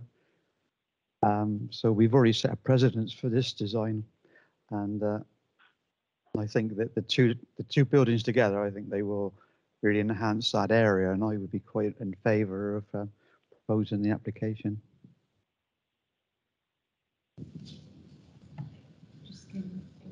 Okay. Was it councillor Facey, were you indicating, or were you indicating that it was councillor Hendry? Sorry. We'll go with councillor Scott and then councillor Hendry.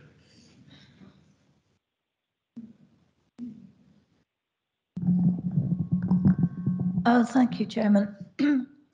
yeah, so I passed by this um, building um, on my way to the vets, and um, it, yeah, it, it needs some sort of something doing to it. And actually, this design does look as though it would encompass a sort of a country sort of look to it. So I welcome that. Um, I think one of the concerns the parish council was raising was about the foul water drainage. Um, but I see in the report that um, the application says that it will be dealt with by a way of a package treatment plant. Um, it's just really to confirm that that is the, the case, I think, which probably allay their fears on that. Ms. Chorley. Thank you. Apologies for the delay there. So this was the uh, previous scheme. Um, so you can see the height of that building was 3.31 metres uh, to ridge, had quite a low pitch. Um, it was a stable block, so you would expect it to have a, a much lower kind of pitch. But as uh, the applicant pointed out, the overall footprint would have been greater. So um, the footprint is is smaller from what we have now, but that that is, um, but we do have a, a greater height, um, but obviously located to the rear of the site rather than kind of more predominant in terms of the roadside. Uh, with regards to the last point about foul water drainage, um, yes, it is uh, detailed in the application form that it's a package treatment plant, um, and it's also covered off in there that that is uh, provided for separately under other regulations and a licensing regime. Uh, so further information isn't isn't required as part of the planning application uh, process. Um, assuming that's within the curtilage of the dwelling, it wouldn't in itself require consent. Councillor Hendry. Thank you. Um, I stand by what I first said. This applicant has gone to great lengths to have all the boxes ticked, all bases covered, and I'm more than happy to second the recommendation. Thank you. Okay, thank you very much. And I'm not seeing any other indications from members. So we've had a recommendation both proposed and seconded to grant permission. All those in favour, please indicate. That Would appear to be unanimous. That's clearly carried. So permission is granted. Right, members, the next application we have this morning is on page 40.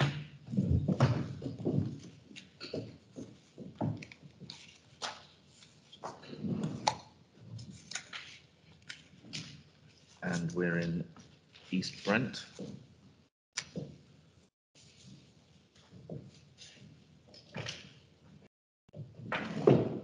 And I think Mrs. DeVries, you're introducing this one, please.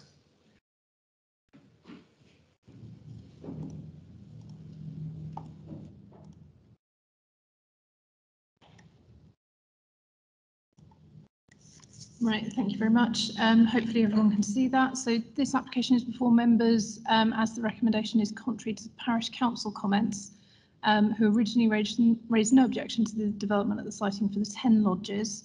Um, but following the um, re-advertising of the application to include the reciting of six lodges that have already been granted consent, they have subsequently raised concern regarding um, flood risk, insufficient flood warning system, and the location of the site within the countryside, resulting in unsustainable development. So the relevant policies in the report are listed above, and the main considerations in this case are principle of development, size, scale and design, impact on heritage assets, residential amenity, equalities, highway consideration, impact on ecology, and flood risk and drainage. So in respect of principle, the site is located within the countryside, although forms um, an area to the rear of Rookery Manor, which currently has consent and is building out 35 lodges for tourism accommodation. So this application seeks for the reciting um, of six that have previously been approved as they've been cited in differing locations to the consent and 10 additional lodges. So these have been in association with the existing site and whilst it's in a countryside location, policy CO1 does confirm that development will be supported where it accords with other relevant policies for development in the countryside to support rural economy. So policy D17 supports tourism related initiatives, including accommodation. Um, the principle of the expansion of an existing site is therefore considered to be acceptable, subject to detailed consideration. So this plan just sort of indicates the location of the site, but I'm sure members are familiar with it from previous applications. So this is an aerial view of the site that shows the lodges to the west of the application site being under construction. Um, so in terms of location, so these ones are under construction um, or were at the time of the um, aerial photograph. There were six consented in this location, um, which have been cited but in slightly different locations to the consent and the permission they're seeking now is for 10 sort of in this area wrapped around down here. These were the original six um, first consented on the site and members may remember there was an application for a, a pond and recreational area to this corner recently at, at committee. Um, so the site um, subject to this application is between the lodges that are under construction and the motorway and extends to approximately the line crossing the field. So this location here. Um, and as you'll see, the, the site's been trafficked due to the gen, um, sort of construction of the existing units on site. So this side um, shows the proposed access to the northeast of the main building um, and the footprint of the six on this slide has already been consented, although the siting of these um, is proposed to be remedied through this application. So this layout plan uh, shows the six parallel to the M5, which have been recited, and the additional 10 lodges forming a continuation and wrapping around the turning head. There are 30 parking spaces in this layout with access to the car parks to the north of the site. Um, the development maintains a minimum wooded buffer of 11.5 metres to the motorway, and then levels are shown to be um, increased to allow the finished floor levels of the lodges to be between 6.7 and 7.3 metres. So this is the six as consented but recited. This is the additional 10 and that's 15 parking spaces and 15 parking spaces and that's the access that goes off to um, the main parking area in connection with Rookery. So this shows the floor plan and elevations for the lodge called Tuscany, which is two bed, one of which is en suite. There's a separate bathroom. There's an L-shaped lounge diner and separate kitchen, and the unit has full-length glazing on three of the four elevations. The footprint of the lodge is six metres by 12.2. And the second lodge type, um, this one's called Lighthouse. This has the same footprint and again proposes two bedrooms, one of which is en suite, separate bathroom, L-shaped lounge and separate kitchen. Um, this unit has a pitched porch over the entrance and a mixture of window sizes and just showing some difference to the first type. So this slide shows a view from within the site um, of the six fully constructed lodges um, and a view to the southeast where you can see the ridge lines of the development which is west of this application. So in the distance members will also see the landscape screen to the motorway. So this is the six um, in this location that are already constructed. This is a view looking towards the development site, so these are the ones that are under construction. And in the background, that's the boundary to the motorway that you can see there. So looking at wider visual impact, um, due to the motorway, the development would not be visible from the east, but Strolands Lane runs to the west of the site, um, although there is an intervening um, agricultural parcel of land. Uh, this is a view of the six units constructed at one of the site entrances, and the application site is indicated by the red arrow, which would be in distance from this view. So this is Strowlands Lane, you can just see the edge of it here. That's the six that's previously been constructed. The location of the application site is, is roughly in this location. So further to the southwest, still on Strowlands Lane, looking back towards the application. Um, this is looking back towards the site. The nature of the buildings is that they're single story and given the intervening land and the landscaping um, to soften this view and the fact that the development would be read in conjunction with the existing and consented development, there's no objection raised in terms of size, scale or wider visual impact. Uh, looking at impact on neighbouring properties and heritage assets, the cottage is a grade two listed building um, just in this location here. So in terms of proximity to the application site, it's set over 240 metres from the site. Um, given the location and the intervening tourist development, the additional lodges and the resiting of the six existing lodges are not considered to give rise to any direct impact. So there are additional dwellings um, to the north, which are separated and screened from the site by the car park. So this car park area um, here and here. Um, so the resiting the six is not considered to be having any greater impact than previously consented, and the additional 10 would be at distance, so again would not give rise to any direct impact. The site is authorised as a tourist site for 35 lodges, um, increasing this from 35 to 45 is not considered to result in any adverse impact to the surrounding neighbours. Under the Equalities Act, the LPA has a um, duty to give due regard to potential impacts on those protected characteristics. Um, there's been no specific reference to this through the public consultation, um, but the development would result in the provision of tourist accommodation, which would be available for use of public who may or may not have identified characteristics. So the development would therefore provide equitable opportunities in this respect. So turning to highway considerations, the proposed development would be accessed from the existing access to the site. Um, this access is considered to be of sufficient width um, and provides appropriate visibility splays to ensure highway safety. The additional traffic um, generation rising from 10 lodges is not considered um, to give rise to any highway safety conflicts.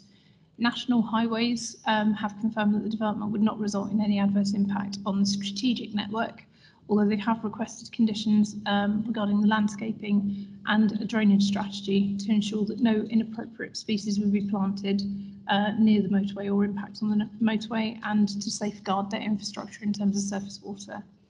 Um, they are considered reasonable and have been imposed at the back end of the report. Um, concerns have been raised by third parties that visitors would be reliant on their car for journeys. Um, due to limited public transport, um, officers do concur with this view. Um, since the closure of the main complex, the spa to the rear of the complex remains open currently um, 10 till 5, six days a week, which does offer some facilities on site. Um, but officers do concur that the majority of visits undertaken by the tourists would be within the vicinity and likely um, undertaken by car. Concern was also raised regarding conflict between cars and pedestrians given the absence of pavements. There is good forward visibility up and down Edingworth Road, and while Strowlands is narrower, um, speeds would be lower and there are grass verges that pedestrians could use in the event of vehicles passing. So given it's an increase of 10 additional lodges from the consented position, um, officers are not raising an objection in terms of um, vehicle and pedestrian conflicts. So in terms of ecology, um, as the site's currently under construction, there is limited ecological value on site at the moment. Um, the woodland buffer between the M5 is to be maintained by this application and condition 11 does require ecological mitigation and an enhancement plan to be submitted and agreed in writing with the LPA. In respect of flood risk, um, the site is located in flood zone three, although due to the change in levels on site, the finished floor level of lodges have been confirmed to be above the one in 200 year risk level to ensure no impact on future occupiers. The finished floor level is set by condition um, by the Environment Agency, and whilst the applicant has submitted a flood warning and evacuation plan, this is also controlled by condition, which is supported by the Civil Contingencies Officer. The lodges are also required to be set away from the land drains and surface water drainage strategy is required for the site to ensure no adverse impact as a result of surface water. So subject to these conditions, there are no objections from any of the statutory consultees. So moving on briefly to other matters, there's been a lot of concern raised about the existing use of the holiday accommodation on site and the concerns regarding a potential breach. Um, the six lodges at the entrance of the site, um, which are outside of this application, um, are currently under review for enforcement. Letters have been delivered to the site owners um, for the occupiers and any confirmed breach will be reviewed by enforcement. That action is still currently underway and all consents that have been granted on this site are restricted for tourist accommodation and would be reviewed by enforcement in the event of any conflicts. Um, the information we've gained from that so far is that two and three, cabins two and three are still owned by Rookery Manor and rented out um, for holiday accommodation through Hoseasons. Um, we've been advised that cabins one and four are subject to negotiations for Rookery Manor to buy these units back, and five and six have been sold to private individuals although six, um, the occupier of six is frequently abroad, but we're still investigating that point. Um, the fact we're investigating that point and there is live enforcement action isn't something that would necessarily restrict granting further consent because it would be subject to the same conditions, which again would be enforceable in the event of any breaches discovered. So in conclusion, um, the principle of development, it's an expansion of an existing tourist site for 10 additional lodges and the resiting of six that have previously been approved. Um, the size, scale and design is considered to be appropriate. The lodges are in a far corner that would not raise any adverse impact in terms of neighbouring communities or impact on heritage assets. Um, in terms of equalities, the site would be accessible to the public for those with or without protected characteristics so it's not considered to cause any um, injustice. Um, in terms of highway considerations, it's well served by um, decent vehicular access with good visibility splays, um, and the scale of generation in isolation is not considered to give rise to a highway safety issue. And whilst due to the absence of pavements, there may be pedestrians on the um, access road because of the clear line of visibility, it's not considered to give rise to a highway safety concern. Um, ecology and flood risk and drainage are controlled by conditions. So subject to all the conditions, um, the application is being recommended for approval. Thank you. Thank you very much. Any comments or questions from members to start with? If not, can I kick off? just briefly. Um, just wanted to ask, you, you mentioned that uh, when you showed the view from, I think it was Strowlands, that landscaping was important from that view, and that obviously that's dealt with by landscaping condition just wanted to double check in terms of the landscape and condition six and also uh, the drainage condition nine and condition 11, they're all prior to commencement. Bearing in mind six of these are being relocated because when does commencement actually count? Thank you. Um, I think we are going to have to change the wording of that. Um, we can change it to within three months of the consent because obviously the six is retrospective, or we can word it to say prior to commencement of the 10 additional lodges, um, whichever would be preferable for members. Okay. Councillor Kingham. Okay. Um, two issues really is one, the fact that um, it's in a flood zone three, presumably these units will be raised off the ground. But again, when you have flooding and you've got drainage, the water will find its way up through the drainage system anyway. So our thing can be put in place to stop that happening. The fact that they were putting alarms in the reception, as it's stated in the um, parish council, and the reception is not used anymore. So who picks up the warnings if, if there's flooding? Um, it is located in flood zone three. They are elevating the land levels on site, so the land levels on site will be above um, flood risk, and that's controlled by the condition from the Environment Agency. Similarly, there's a condition for surface water runoff. So the surface water runoff um, should not increase flood risk elsewhere in accordance with policy G1. So for us to accept and discharge that condition, we would have to be satisfied that the water runoff rate from that site is no greater than Greenfield rates for us to discharge that condition. Um, in terms of the flood warning and evacuation plan, currently the spa is manned, so the alarms can go to the reception and spa. Um, I was given assurance by the agent that there are on-site personnel who look after the holiday lodges on site still. Um, so it can be monitored through site, but we have put on a condition anyway to concrete um, the facts on that and make sure there's appropriate systems in place. Yeah, just one other thing I forgot to mention, the fact that um, we've given permission for the lake, obviously under flood conditions, that will rise a lot with additional raising of the ground around it. So that could maybe cause a problem, especially with the cottage so near. Yeah, I mean, with the surface water drainage details, um, what we will need to see is, is where the surface water runoff is going and that it can be adequately stored in that location without giving rise to flood risk.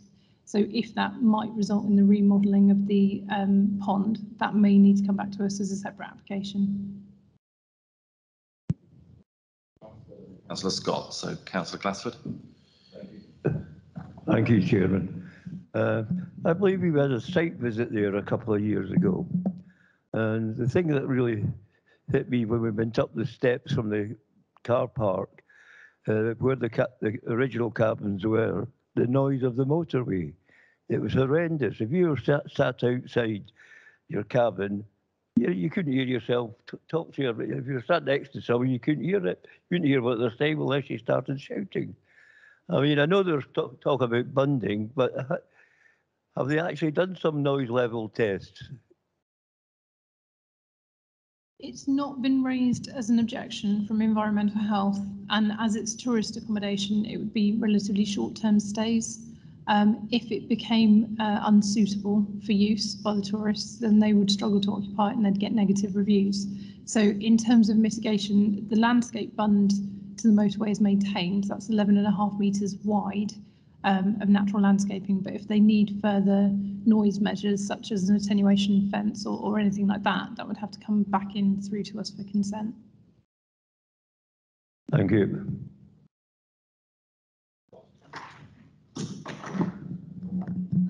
Um, yeah, where the, the ground level's been raised, um, is the pond intended to be the sort of um, mitigation to cover because it's in flood zone three? You need to have an area when you raise ground, you've actually got to make a place to take that flood water. So, was the original pond intended for that, or is there likely to be any other mitigation? instances. And there was something else, actually. You mentioned that there um, there's a period of um, there's some enforcement going on at the moment because of, um, possibly the some cabins have been sold, um, and doubtful whether they're actually holiday accommodation.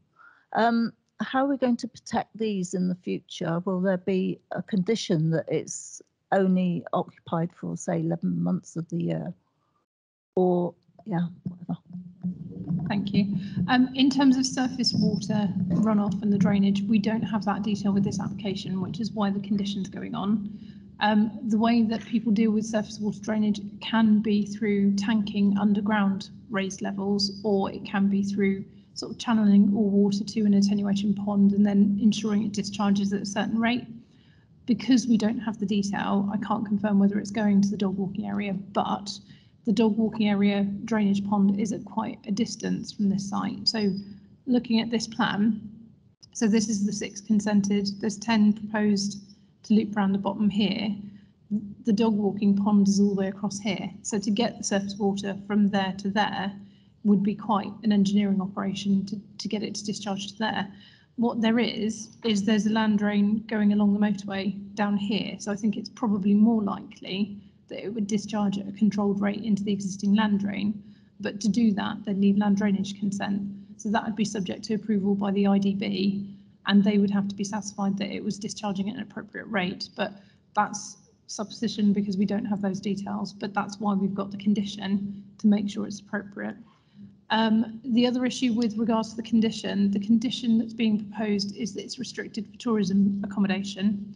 Um, as part of that condition, they are supposed to maintain a register of people's um, with evidence of people's sole or main addresses.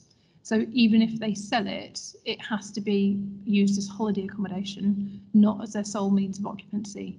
How we check that through enforcement, if it gets raised to us, we do council check, um, council tax checks. So we see where they are registered. So if they've got a different address they're registered at, um, then it's possible it's not their sole or means um, sole means of accommodation. But that's one of the checks that we go through. There's a number of others that we go through to check occupancy. Um, but as and when they get raised, we review whether they're compliant with the consents or not. Thank you. Any other comments or questions from members? Councillor Glassford. Yeah, following the last question there, it sounds a bit like it could, could end up another diamond caravan, uh, sort of a trilogy or whatever you we call it.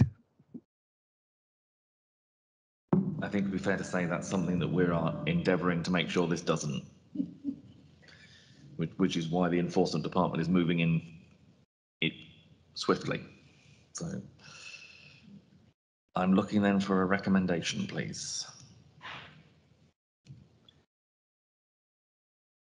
If I'm not getting, I'll, I'll make, I'll move a recommendation. So I'll move the recommendation that we grant permission as, as per outline. But in terms of the condition, what would your advice be, Mr. De Vries, in terms of the, the, the commencement conditions? Because obviously we need to make sure those are tight because there is a history here that we need to make sure enforcement conditions are enforceable. I, I would suggest it would be prior to the commencement of the 10 additional units because the six units have um, a number of uh, conditions that are attached to them anyway. So to avoid duplication or confusion, I think it'd be prior to the commencement of the 10 because then it reads as pre-commencement for the additional units rather than reciting the six.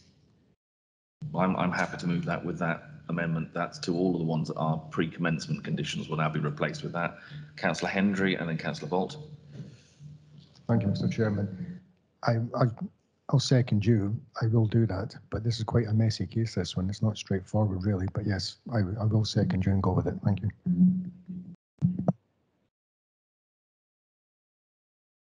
Other indications? So if we move to the vote, and that's, we've had the recommendation moved with the amended condition uh, that permission is granted, all those in favour, please show. One, two, three, four, five, six, eight, nine, ten, eleven. Okay, and those against, please show. That's One. one. And that's, I think everyone voted? Yeah, that's all, all voted, so that's, permission is, is granted. Um, members, that brings us to the end of the planning applications we have this morning. We do have a, couple of reports to go through. Um, bearing in mind the time, are you happy that we take a- another comfort break? I did notice while we were dealing with that application that the coffee has been refreshed. So uh, if we take a break for 10 minutes for members to have a break and we'll restart again at, uh, what is it, 25 to. Thank you. So I, if we could come back to, uh, to order again and we'll restart.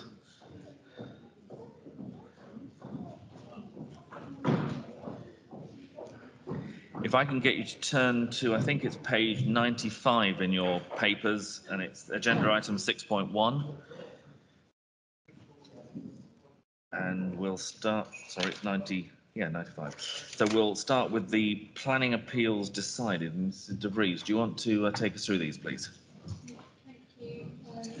So the first um, appeal on there was a delegated decision. It was an outline application for up to 165 dwellings, public open space, structural planting and landscaping, surface water mitigation and attenuation, and a vehicular access off of Oak Tree Way, um, which is a cul-de-sac in Cannington.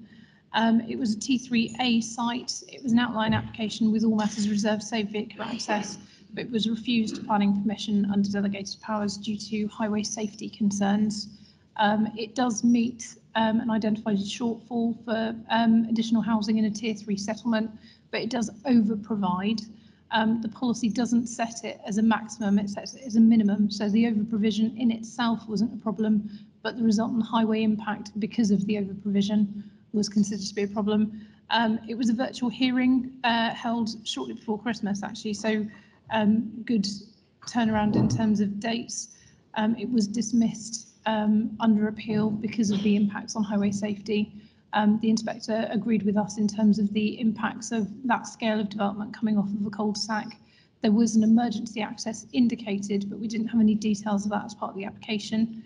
Um, there was a 106 or a unilateral undertaking that they were drafting um, parallel to the appeal, but they were recommending that they pay us sums of money for highway improvements.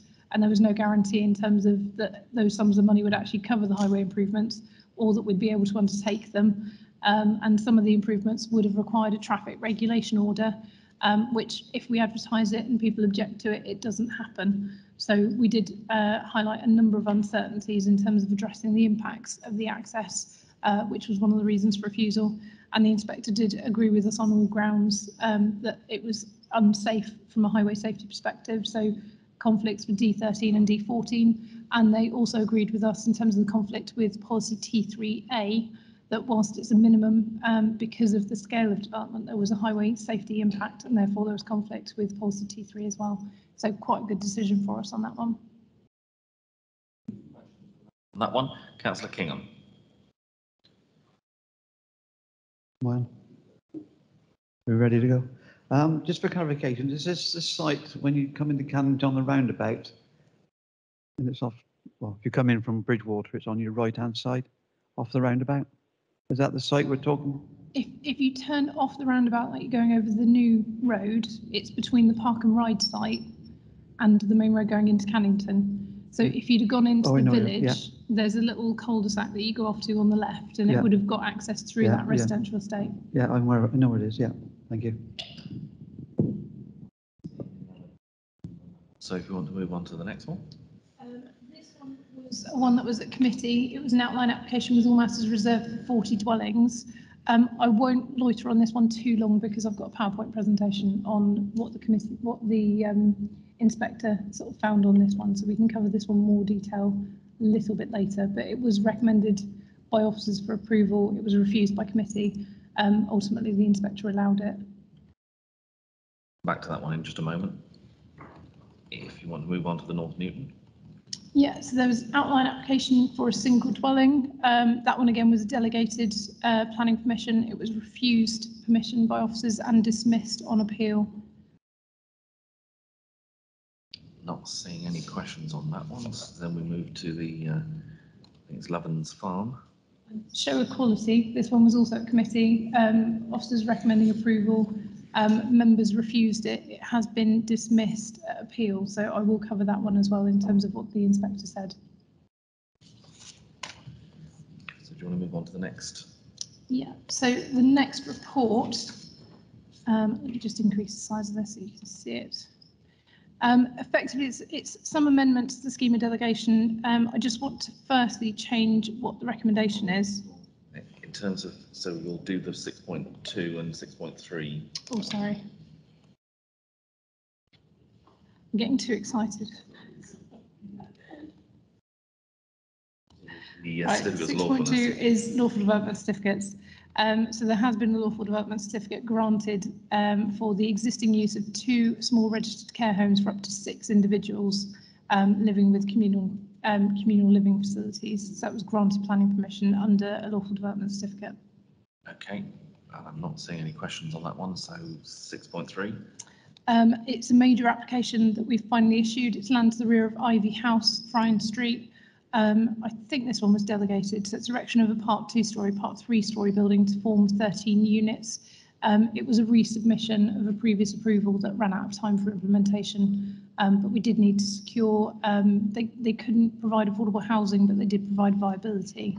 So we um, secured the standard uplift um, clause in the unilateral undertaking. Okay, and again, I'm not seeing any questions on that one, so if we move to item seven. Now onto my really excited report. Um, so this one's just um, a realignment of the scheme of delegation. Um, it's effectively how the committee currently operates, but it just wasn't in black and white in terms of the scheme of delegation. The recommendation says to approve the amendments. Um, it's to support the amendments because it needs to go through formal approval process. So it's to agree the amendments rather than approve per se, um, and to agree the amendments for the scheme of delegation to go on for approval. Um, effectively, the, the black and white changes are just that through committee, um, usually, sorry, just trying to find the right page on the report. We, we've got it in the constitution that if you are on the panel, um, on the committee, that your um, planning application automatically goes to committee. Um, we've taken it as a, as a matter of course that where the application is a, um, a, a close relative to anyone on the panel, so namely a spouse or sibling, their application also comes through committee. So we have been doing that as a matter of course, but it's not set out in black and white in the scheme of delegation. So it's just proposed to amend that to include that. Um, there's also an amendment proposed um, that where the development is um, put forward by someone who's either involved in the planning process or they're in a position of assistant director or above outside of the planning process, but they're in a position of authority for the council. Um, again, just for transparency, it comes through members. That is generally how we have been practicing, but it's just to get it set out in black and white in the scheme of delegation. Any questions or comments? And, again, as Mr. Breeze said, it's it, in effect what we're doing is putting what we have been doing in practice now into.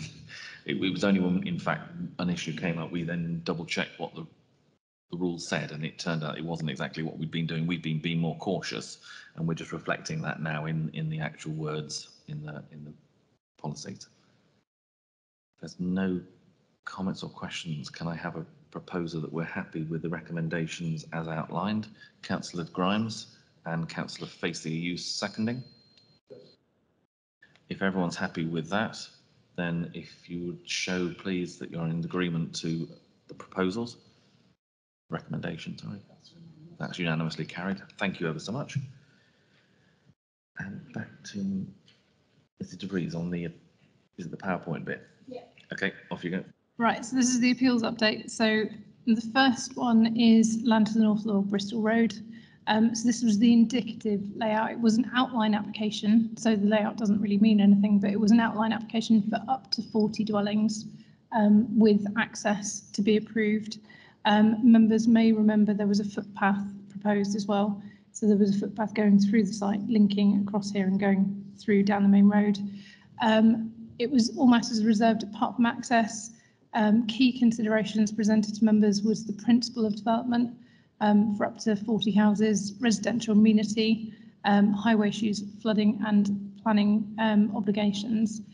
Uh, the application didn't have any objections from any statutory consultees, um, and they were satisfied that the impacts could be appropriately dealt with through conditions. Um, there was significant local objection on this one in respect of traffic generation, noise, vibration, highway safety, and the provision of a footpath in terms of whether it was possible and whether it was safe.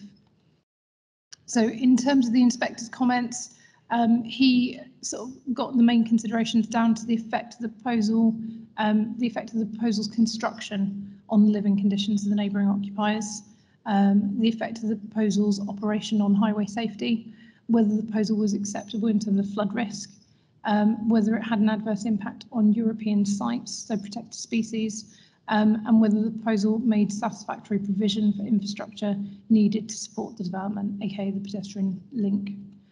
Um, in terms of um, construction, it was noted that the quantum of development wasn't set, aka, you know, they were saying up to 40, it could have been less than that. Um, but therefore the soil import and the impact that was set out in the soil reports and the construction um, plans for getting soil to the site was taken as a worst case scenario. So that was the absolute peak of what could have been experienced on site.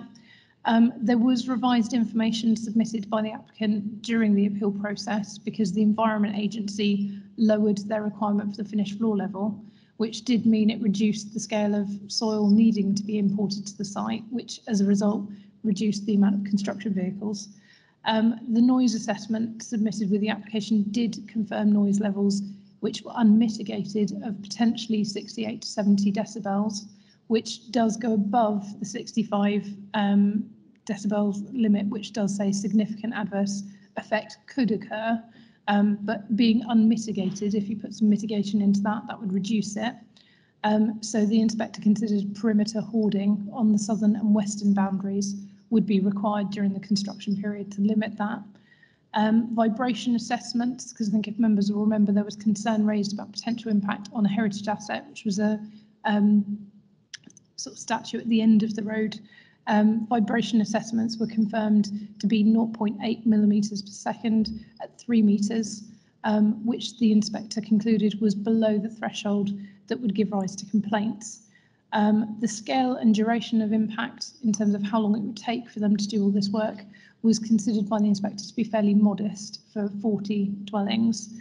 Um, and the concerns um, raised by the council in terms of the defence of the appeal um, and third parties were all noted, um, but the inspector said there wasn't any evidence um, submitted that would lead him to determine otherwise. So subject to the mitigation um, and given the low levels of vibration, he didn't consider that the impact um, was sufficient. Um, and also they could be addressed by condition. So in terms of traffic generation, then um, the inspector considers the highway to be like a lightly trafficked country lane, which had sufficient width for vehicles to pass, which included a large vehicle and a car. Um, HGV trips for land level raising um, was up to 4,000 or 6,000 um, vehicle movement, and no objection from county highways meant the inspector concluded that there was no evidence to lead the inspector to a different conclusion. Um, the provision of a pavement was uh, to be controlled by condition, and traffic surveys that were undertaken showed that the traffic generation from the site was less than 1%. So there was no evidence that the junctions were at or nearing capacity to cause the inspector any concern. Um, and the footway, providing the footway does reduce the width of the highway at points to four metres. Um, but the inspector concluded, given sort of the lightly trafficked um, nature of the site, traffic calming measures could allow for that to be incorporated safely. Um, it was noted that sites in flood zone three, um, the proposal was considered to comply with policy T3A in terms of it was providing affordable housing and therefore it was providing a wider sustainability benefit that allowed it to be released in flood zone three. Um, it's a slightly different conclusion to what um, officers took because officers were saying it's a local need connected with that settlement and therefore it needs to be on the edge of that settlement. Um, the inspectors effectively said as a wider sustainability benefit, it's acceptable in flood zone three. Um, land and level being elevated uh, would ensure that the future residents would be safe from flood risk because that was controlled by condition by the Environment Agency. And surface water drainage um, was proposed an outflow rate which was 74% betterment over existing greenfield discharge rates. So it would actually be an enhancement in terms of flood risk um, to the surrounding area. Raising the levels would mitigate flood risk and the surface water would mitigate the risk of flooding elsewhere um, and they were controlled by condition. Um, in terms of the appeal, the inspector undertook a HRA, or we undertook a HRA screening opinion, um, and the inspector concluded that the site was close to a number of um, SACs, um, special areas of control, but given the distance, um, the lack of pathways, so like hedgerow connectivity, um, and qualifying features, so things that the protected species would use, um, the inspector didn't think there was any significant effects on the European site or any protected species. Um, the um, applicant originally proposed a unilateral undertaking, um, but we did highlight during the appeal process that that wouldn't actually secure all the obligations because some of them need enforcing. And if they need enforcing, it needs to be a bilateral agreement, so it needs to be a 106. Um, but we did work with the developers to enter into a 106 without prejudice, um, which does secure the public open space 40% affordable um, housing and a travel plan and highway works to provide the pedestrian link. Um, my one frustration with this um, decision is that it was an outline application, so we did try and limit the time limit for applying for approval of reserve matters because as an identified housing need, it meets a housing need that's identified today. As an outline permission, it can take five years for it to come online, which means the housing need will be out of date by the time it gets delivered. Um, we did try and reduce the time limit for um, submission of approval of reserve matters. Inspector didn't seem to understand why we were doing that, so he reimposed the standard time limit on this one. So it, it was granted consent, it was um, conditioned, obligations have been secured through 106, but unfortunately the time limit has been extended to the standard time limit for this one. Any questions on that before I go on to the other one? Councillor Hendry. Thank you. I voted against this at the time. and if it was up before us again today, I'd vote against it. eh? Absolutely awful. I know it's been passed now, but I get, I understand fully, but it's in the wrong place. Councillor Murphy pointed out at the time there was up to 6,000 lorry loads, was it, or something like that, of, of, of um, coming. This whole thing is completely wrong. I know it's been decided, fine, you can't do anything about it now, but I'd like it on record that I didn't like this at the time, and if it went before us today, I wouldn't vote for it today either. Thank you. Councillor Grimes.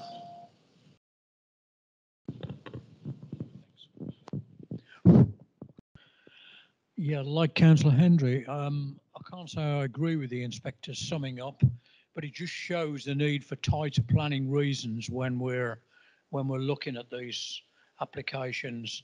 And I think um, the inspector's got it wrong, but that's that's my view and probably a lot of the people that were were on this at the time. But uh, like I say, it just shows that we need tighter planning reasons if we're going to oppose anything. Thank you. mention, I think in, in terms of the planning reasons, it's worth noting that the, the applicants actually went after us for cost, didn't they? So they, they tried to say that the council had been unreasonable and, and acted unreasonably. They did not get costs. The inspector disagreed with the decision we'd made, but he basically said he could, un- it's more or less, I can understand why you got to that decision, but I don't think you're right. Whereas he wasn't saying we were unreasonable or we hadn't given valid reasons. So I think it did show that the committee protected the council in the sense of you did come up with valid reasons. If we hadn't, they did try and get costs and we would have lost that if we hadn't done that as a committee. Mrs. DeVries? I, I think in terms of background, the, the two, I think, take-home messages, I guess, is, is that this, this application was an outline application. So whatever it looked like on the layout in terms of the first, so that, that plan, that, that plan is just indicative. So we couldn't attach any weight to that. We couldn't attach any weight to anything about what it looks like. The only thing we could do is say this is an edge of settlement site on the edge of the settlement boundary that meets an identified need. Does it work? And and the kit, the critical issue I think for members and during the debate was whether it was safe for highways, which was right for us to consider that in detail because that was the detailed consideration and and um, the inspector agreed with that as well. And I think the reason we we didn't get costs is that the inspector did know it, it's a difficult case to make an assessment on. You know, the noise because of the HGVs using that route, the impact on neighbours, that was a detailed consideration for the inspector. During the application, they undertook HRA. They also screened it for environmental impact assessment, but ultimately concluded that if if the noise information evidenced that as worst case scenario it's this, and actually that impact isn't sufficient enough to refuse it on, you know, the inspector ended up in the position I think the officers were that where we'd got to the point where we'd exhausted any of the statutory consultee objections, we had no evidence to show the conflict. And it's it's it's an issue with the outline nature of it. So it's almost we have to pare back in terms of what we can consider as part of the outline. And, and we nearly had it the other day, but on a much smaller site for an outline application where members were quite concerned about detail and layout and materials and the scale of the units. But that all has to come later. And I think it's just making sure that we don't overstep the, the outline considerations. But I think with this one in particular, it was it was the detailed consideration of the evidence. And for the inspector, it was the absence of evidence going against the information that we had that said it was okay. And I think if, you know, if we do find ourselves in any similar positions again, you know, I, I think the only thing we could have done differently maybe was was get a deferral to get an independent assessment of any particular area that was causing um, concern for members, because then at least there would have been some competing evidence, either supporting or not the viewpoint of the members. But in terms of the application for costs, the inspector sort of considered the debate of members in terms of it was the noise, it was the vibration, it was whether it was safe from a highway safety perspective, and they they were all noted to be material and quite technical objections. So it wasn't wrong for you to weigh those up and come to the judgment that you came to. And you know he weighed up the same consideration with the same evidence, and actually the evidence changed between what was presented to you guys at committee versus what the inspector ended up concluding on. Um, but I think it's just I guess the take home message for me is if it's an outline, make sure we're looking at the outline elements. And if it's a technical evidence issue, we need to make sure we've got the evidence to back up if we're disagreeing with it. Got councillor Facey, did you want to come? Okay, Hendry and then councillor Bolt and then councillor Kingham. Right. I don't want to drag over old coals because we've had this before us already, and we're just having a bit of a sum up at the moment. So I'm not going to drag over all. Three of the main points at the time was uh, traffic. Now, I'm not a big one for going on about traffic, really. It's not my thing. But the road that goes past the site onto the main road, the, onto the main road, the A38, is blocked off, and that's going to remain blocked off. So the traffic still has to back down into the bottleneck in the village. That's the way. That's going to remain that way forever. The the water runoff, uh, the flooding. I I think that problem's going to be there forevermore, because you will have a problem. You're going to raise that one up by three feet, one meter or something, you're going to have a runoff. It's going to happen that way. And one of the other points was for the villagers themselves with these old cottages and all these HGVs trundling by up to 6,000 units. I think it's appalling. And apart from the fact they're going to have affordable housing and new housing, which is really nice, you can't class that as an infill because a lot of villages have, have little developments and they're classed as infill. That's not. It's on the edge. It's upset too many people. There was nobody in favour of it at all. I'm not in favour of it today, but that's too late. It's already gone. But all the reasons why it's been put, it's, it's been granted by the inspectorate, I think you could you could start picking holes in them if you wanted to, but it's too late now and it's gone. But no, if, I, if this was before us today, I'd still vote against it. Thank you. The Bolt. Yep, thank you. Um, again, as a learning curve, um, I, I, think one of the objections was vibration on the older houses, etc. Once we've put that uh, as one of our reasons for objecting and and refusing permission, is it up to us lot, the, the council, to turn around and get a report to actually back that up? And if that wasn't done, should it have been done as an independent prior to this going up to the, the inspectorate? In, in terms of the impact, the, the information had come in with the application and the conclusion on the report that had come in with the application said it was okay, which is why environmental health weren't objecting to it in terms of the degree of vibration. Um, if that was a concern in terms of members' concern, what to make a more robust decision, what we could have done is deferred it to allow us to get an independent assessment of that report to see if we agreed with the conclusions, because it, it could be you know, professionals are professionals and they should be making their judgments in accordance with the information they've got.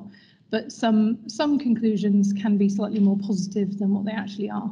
Whereas if we would have independently assessed it ourselves and come up with our own recommendations, it would have said either, yes, the report's accurate and, and fine, and therefore we can't challenge that, or it would have come up and said, actually, it's raising issues because X, Y, Z, which would have given us a stronger case appeal if we would have then submitted the counter evidence as part of our case, whereas our case was um, they've submitted all the paperwork, we don't agree with it, but we didn't have any evidence to show, you know, where the discrepancy was or where, where the impact is. But that work costs money, and then, you know, also we were defending a costs claim as well, which we didn't get. But, you know, I think the inspector accepts that, you know, it's not always reasonable to expect the council to um, garnish additional financial reports that will, will cost the authority money. But we could have done, you know, if we wanted to future-proof future decisions. It's it, sorry. In in in effect, what we have got to take into consideration is that the report that's given to us is honest and accurate. The risk, and, and I'll just say this, because if we do defer something to get an additional report, and the additional report agrees with the findings of the applicant, we would then really be unreasonable if we refused it on that basis, because we would have paid for our own independent report, which would have come to potentially the same conclusion. If we then said, no, we still don't like it, there's still a vibration impact, that would definitely be unreasonable. As it was, we had a report saying it was acceptable. We debated it in, in the wide, and actually the scale of impact reduced between the point that we refused it and the inspector allowed it. So I think that is that is a key consideration. Um, but ultimately, the inspector agreed with the findings of the reports he was submitted. Um, we could have done our own reports, but the risk is that if we'd have done that and if they would have agreed with the applicant, we, we could have been seen as being unreasonable.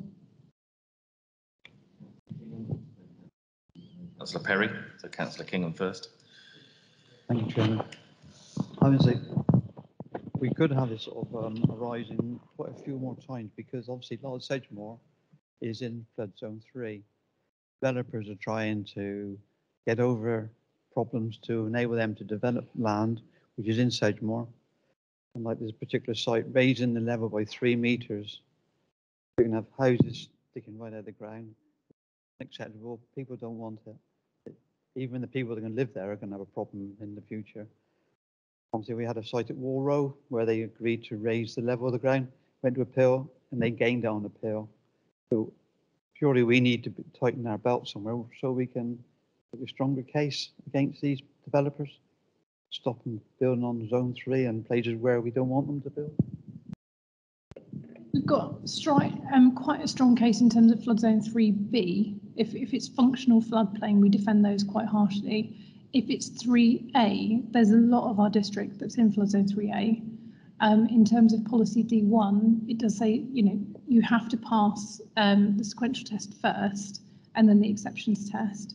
In terms of the sequential test, the first point is it is it in the settlement boundary?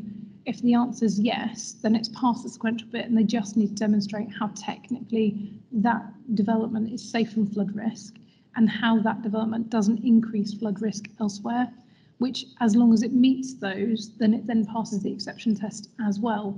So we haven't got any cause to refuse stuff in principle just because it's 3A if they demonstrate they could meet those. On the edge of settlement boundaries, um, there can be more resistance to 3A, but policy T3A does allow release of edge of settlement sites specifically for the affordable housing. And in the NPPF, there's also um, a release mechanism for um, flood zone if it meets a wider sustainability benefit which is where the inspector found in terms of because it was provision of 40% affordable housing, it was a wider sustainability benefit that outweighed the flood risk and the flood risk element could be controlled by condition. I've got councillors Betty, then councillor Perry, then councillor Murphy. So we'll start with councillor Betty. Thank you, Chairman. Um, I went on the committee back when this was brought to everyone.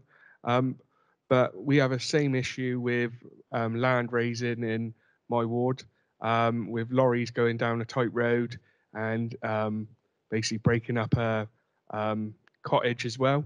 So I just want to know if there's anything that we can do that mitigates how many lorries and the dirt, so we know how much this land raising is done, and that we can put a stop to it once it's actually reached. Because at the moment, where we're to the what was agreed, there's still more and more being dumped on this ground out in my ward. Yeah. So if it forms part of the application um, site to increase the land levels, what usually happens is we request details of that so we know what we're looking at before we grant it. And then we try and control it with a construction management plan. So that would set out the hours of operation. So what time in the morning they can start, what time in the evening they have to finish, what days they can't operate, like Sundays, bank holiday Mondays, um, and if it's only a half day on Saturday. So that reduces the days or duration of impact. Um, but with this one, you know, it was considered that the um, scale of time it would take to increase land levels was between six and nine months. So six and nine months of how many HGVs trundling up and down to get the land levels up to the point they needed, which from the inspector's perspective was a relatively short-term impact based on the benefits of the scheme in terms of it provided 40 houses and 40% affordable. So with, with the impacts, we need to know what the impacts are. We can control them to a degree through a construction management plan, but if you need to increase the ground levels by a certain amount, that will result in a certain amount of import. But again, you know, the scale of import we were looking at was higher when we refused the application at committee um, than what the inspector concluded, but the inspector set it out as, as an absolutely worst case scenario, up to nine months, up to 6,000 vehicles, you know, but in the long term scale of things, a nine month impact to create the benefits of the housing, the affordable housing, the, the benefits outweighed the impact and the, the noise impact, which was the higher concern for the inspector, could be mitigated by condition with the um, sort of fencing along the edges, which was controlled by condition. In the case of where a, a permission has been granted and it's thought by locals that maybe more is being brought in than should have been, one would imagine we would have a profile of what should be the land levels. And if they go above that, that would then be a referral to enforcement to go out and have a look at whether they breached the condition. The construction in accordance with the approved plans. Councillor Perry. Yes, thank, thank you. Um, the adopted local plan, um, are you saying that um, you would prepare to have a, an independent assessment report for um, the rate of um, development and the traffic that will development traffic that would cause harm to the existing properties quite close to where these um, proposed sites are going to be? Is that something that you that Sedgemoor would be doing an independent assessment, getting an independent advisor for that? Not so much review the policy, because the policy, the, the policy for this application said um, basically there's an affordable housing requirement for this tier, which can go on an edge of settlement location. So it, it in principle sorts, um, supports development on the edge. What could have happened is obviously the applicant submitted um, traffic generation information in terms of what scale of traffic you'd get through the construction and also through occupation of the future development when it comes online. And then what degree of impact that would have on the junctions, because I think that was a particular concern for members, um, and what degree of impact that scale of generation would have on the neighbours, given some of the properties were right onto the highway.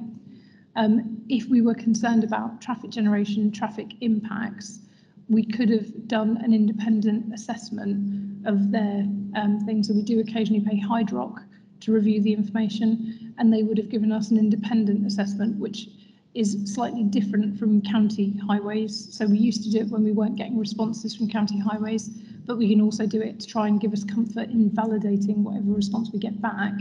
Um, sometimes we get conflicting responses back, and it's us, us as local authority to make that balance. But if we would have had um, sort of a review of the highway information, we could then make an opinion based on the applicant's information says this. Our independent review of the same information either comes to the same conclusions or different conclusions. And if it came to different conclusions, that would be grounds for us to object to something on. Right, because there's a lot of land going up um, for on the local plan that's been allocated for that. Um, and it's right on the edge of Bridgwater. So, uh, so is Sedgemoor saying that you probably, if there was enough opposition, you would put in an independent Hydrock's report for the um, impact on that development going ahead? At point of adoption of the local plan, the allocations would have been subject to assessment.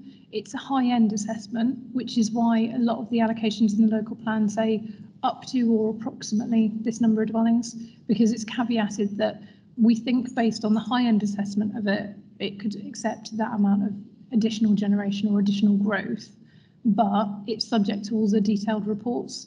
So if the detailed report says, oh, you know, the policy says up to 400, actually all the junctions reach capacity at 350, unless we do this amount of enabling work. So that's all part of the detailed consideration of those applications. If if it was a member's concern that that there were issues with the traffic um, generation or capacity of the surrounding junctions, if we had a report submitted with the application saying there isn't, and County Highways is saying there isn't, if we wanted to refuse it on that basis, I think I'd strongly recommend we would defer the application to get independent advice to support if it comes to a different conclusion. And obviously, if it, if it doesn't come to a different conclusion, my my wish then for, for members would be to take into consideration the evidence that we've got and, and don't ignore it because if we that that's the biggest risk is if you went out to get independent review and the independent review supported the fact it was acceptable, we would then really be unreasonable if we refused it on that basis. We've got councillor Murphy and then we'll move on to Lothens Farm. Councillor Murphy. Thank you, Chair. Uh, I appreciate all the comments that have been made, and I won't keep you long. Um, I remember, I remember. Thank you to Councillor, Councillor Opposite for, for reminding me that I had spoken quite quite strongly about this this application. Um, the big issue, of course, was in referring to what Don has just said, the impact on people around. If we had more evidence of the impact, I do recall that there's a house, you can see it on the plan, uh, it's an old rectory type house next door. And this lady called me and she thanked me profusely. why, why she called me or how she found my name, I don't know. But she called me and thanked me profusely because she was deeply, deeply concerned. The house is so old, she said, that when they start piling, I don't know if we'll survive. We will have damage. And I'm really upset in myself for not having helped by maybe exploring this before. And perhaps, Don, you could give us some little last comment, because there's nothing we can do about it. It's done, it's done and dusted, and uh, that we have to accept it. But nevertheless, piling, pile driving, three meters of earth, putting it on top to pile drive it, and there are existing houses right next door. I mean, right there. You can see it on the plan. And I'm not sure how what I'm going to do. Whether I, I know if I'm even allowed to phone this person up and say I'm terribly sorry. We wasn't. It was out of our hands. But in future, can you give us some guidance about what you really mean about getting evidence of applications that will truly surface from pile driving? Is this something I can ask you? In terms of um, sorry, just going back to that one. So the application was submitted with a vibration assessment. So that will look at what the vibration impacts are through the construction of development. And in terms of the levels, the level of vibration that would be experienced, that was specified as 0.8 millimeters per second at three meters. So in terms of degree of impact, that, that scale of impact was not considered by the inspector to be enough to, to cause any concerns. If there were any minor damage between sort of construction and neighbouring properties, that's a civil issue between the developer and the neighbour. But to the extent set out here, it wouldn't be expected at that degree of, of scale in terms of vibration impacts that would cause um, structural issues for the neighbouring property at, at that value. But you know, if there were concerns about that, again, that's something we could have deferred the application for, saying there's a vibration assessment stating this you know, do we agree that that's the right figure? Do we agree that actually that wouldn't cause an impact? Um, and if not, you know, would it be subject to conditions? Because you can you can put in screw piles rather than driven piles, which is a screw that screws piles in slowly, so it causes less of an impact on neighbours. I can't remember without going through the detail of it whether it is specified to be screw piles or, or driven piles, mm. but that would have been secured um, through the inspector's decision. The, um, I understand there's going to be something like 250 piles to, uh, to try and establish this or flatten this area in order that they can build. But thank you very much. I, I accept your explanation and perhaps it will give us some comfort. Thank you. The Lothens Farm? like this one a bit more because this is the one we were recommending for approval and you guys refused. it was dismissed by the planning inspector. So um, the application was for erection of six dwellings, which included two affordable. Um, main impacts uh, by officers were considered to be the effect on the character and appearance of the surrounding area, um, effect on the living conditions of future residents, effect on ecological value of the site, and whether the site would be suitably located and whether the affordable housing was considered to be well integrated into the site or not. So in terms of the inspector, um, he reviewed the layout and considered that extending beyond the existing dwelling would be appropriate with the existing pattern of development, although he noted that plot one in particular, I'll just go back to the first slide so you can see plot one. So plot one effectively um, is this one. So the front elevation of plot one actually faces into the site and plot one's back garden was here, which was the access arrangement. So there was issues in terms of the height of that boundary in terms of maintaining visibility splays for this access and bin collection point at the entrance here. So plot one faces into the site and the affordable plots were those ones, so it was two and three, which had, plot two in particular had quite a modest garden area, and that was the only semi-detached plots on site. The rest were detached units. Um, so going back to the inspector's conclusion, so he did note with respect of plot one, um, it would be uh, sited between the existing building and the neighbouring dwelling to the south. Um, however, unlike the existing dwellings um, on the main road, which present themselves to the road uh, with their front elevations and areas of um, front garden and parking, plot one would face into the site. So given this, its siting was considered to be out of keeping and would be harmful to the character and appearance of the surrounding area. So the rear garden of plot one uh, was noted to be highly visible in the road and domestic paraphernalia such as um, slides, bouncy castles, sheds, anything like that, um, could be harmful to the appearance of the street scene. Um, it was sort of debated that a taller boundary could be erected to allow some privacy for this particular um, occupier. However, that in itself would also be visually harmful um, because it would follow the very narrow form of the proposed area and would be at odds from the generally open appearance um, of the front of the adjacent plots.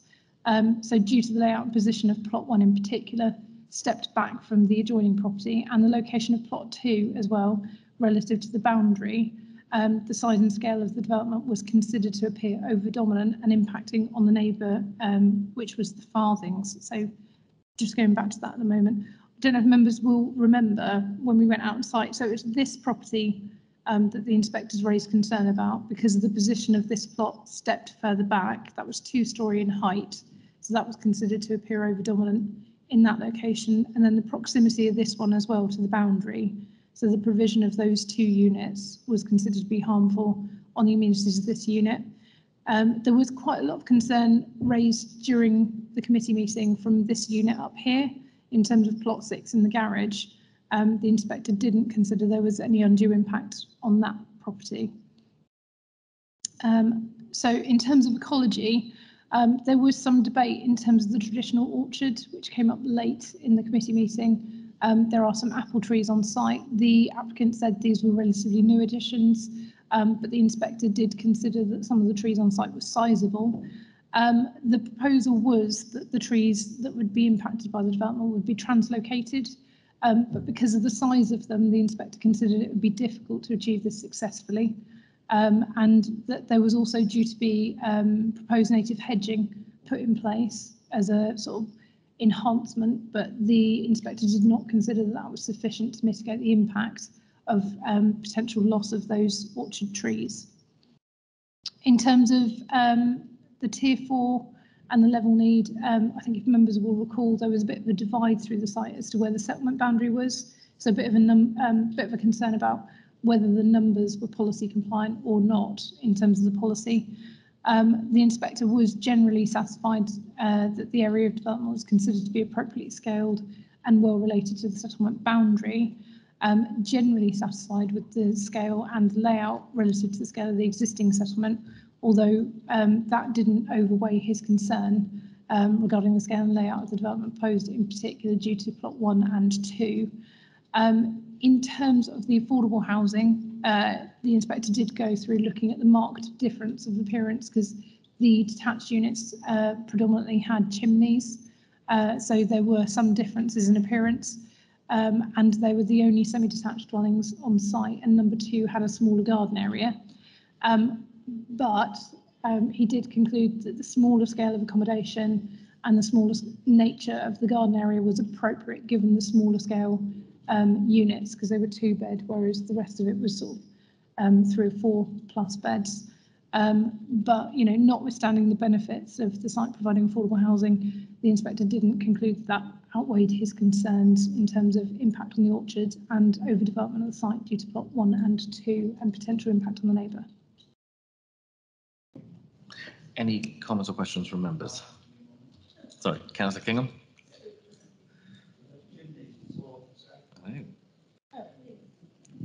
We've even got the inspectors on that side there, absolutely.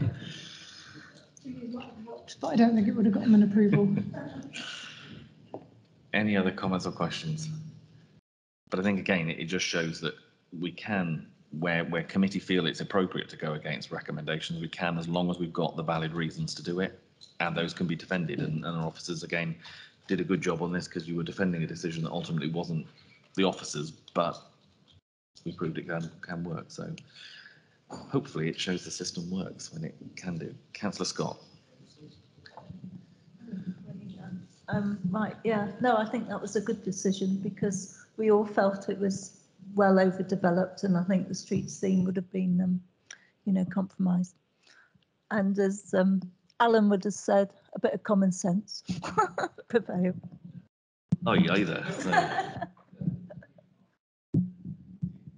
Further comments from members? Thank you very much for that. I think it's useful to sometimes pick up on these things, see where, where things have, have gone well and, and maybe haven't. So thank you all very much. We're going to take a break at that point because we've reached the end of the morning's business. Uh, we will restart again at two o'clock. Is it Nicholson? Yeah, two o'clock. So thank you all very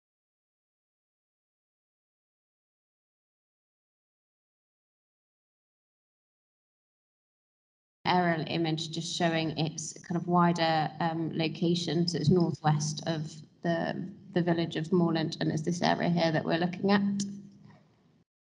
Here you can see that in more detail. So it's this parcel of land uh, that runs between uh, Gypsy and Traveller site here uh, to the west and some agricultural buildings here to the east. And we've got this area here, which is where the built form is proposed, uh, the arena and the access from the highway. And this is the balance of land that would have the mixed use of agriculture and equestrian. It's currently, as you can see, all in agricultural use at the moment. This is the location plan submitted uh, by the agents outlining the area in red. And the block plan showing in detail where the built form would be.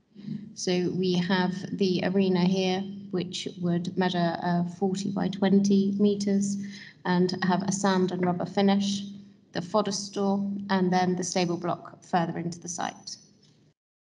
And here we have the elevation drawings of the fodder store, um, which is the smaller of the two buildings that are proposed. You can see that is open entirely to the south elevation and enclosed in timber panelling uh, to the east, west and north elevation with a corrugated sheet roof. Stable block here is the larger of the buildings. Uh, this is to again have a timber uh, clad finish to the elevations with the corrugated sheet roof and there are a number of openings as you would expect um, from the stable block. And this is just a floor plan of that to show the eight loose boxes, tack room, wash bay, a rug room and a feed room that would be provided with the access points on either side of that building. A cross section of the site as it is at the moment, so it currently slopes away from the highway, as you will see in a moment from some site photos. And here you will see this, this is the uh, fodder store that is proposed, uh, the stable block and uh, the arena there.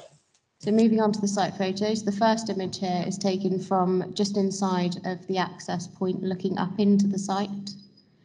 And from the same point, just looking west towards those agricultural, east, sorry, towards those agricultural buildings that already exist.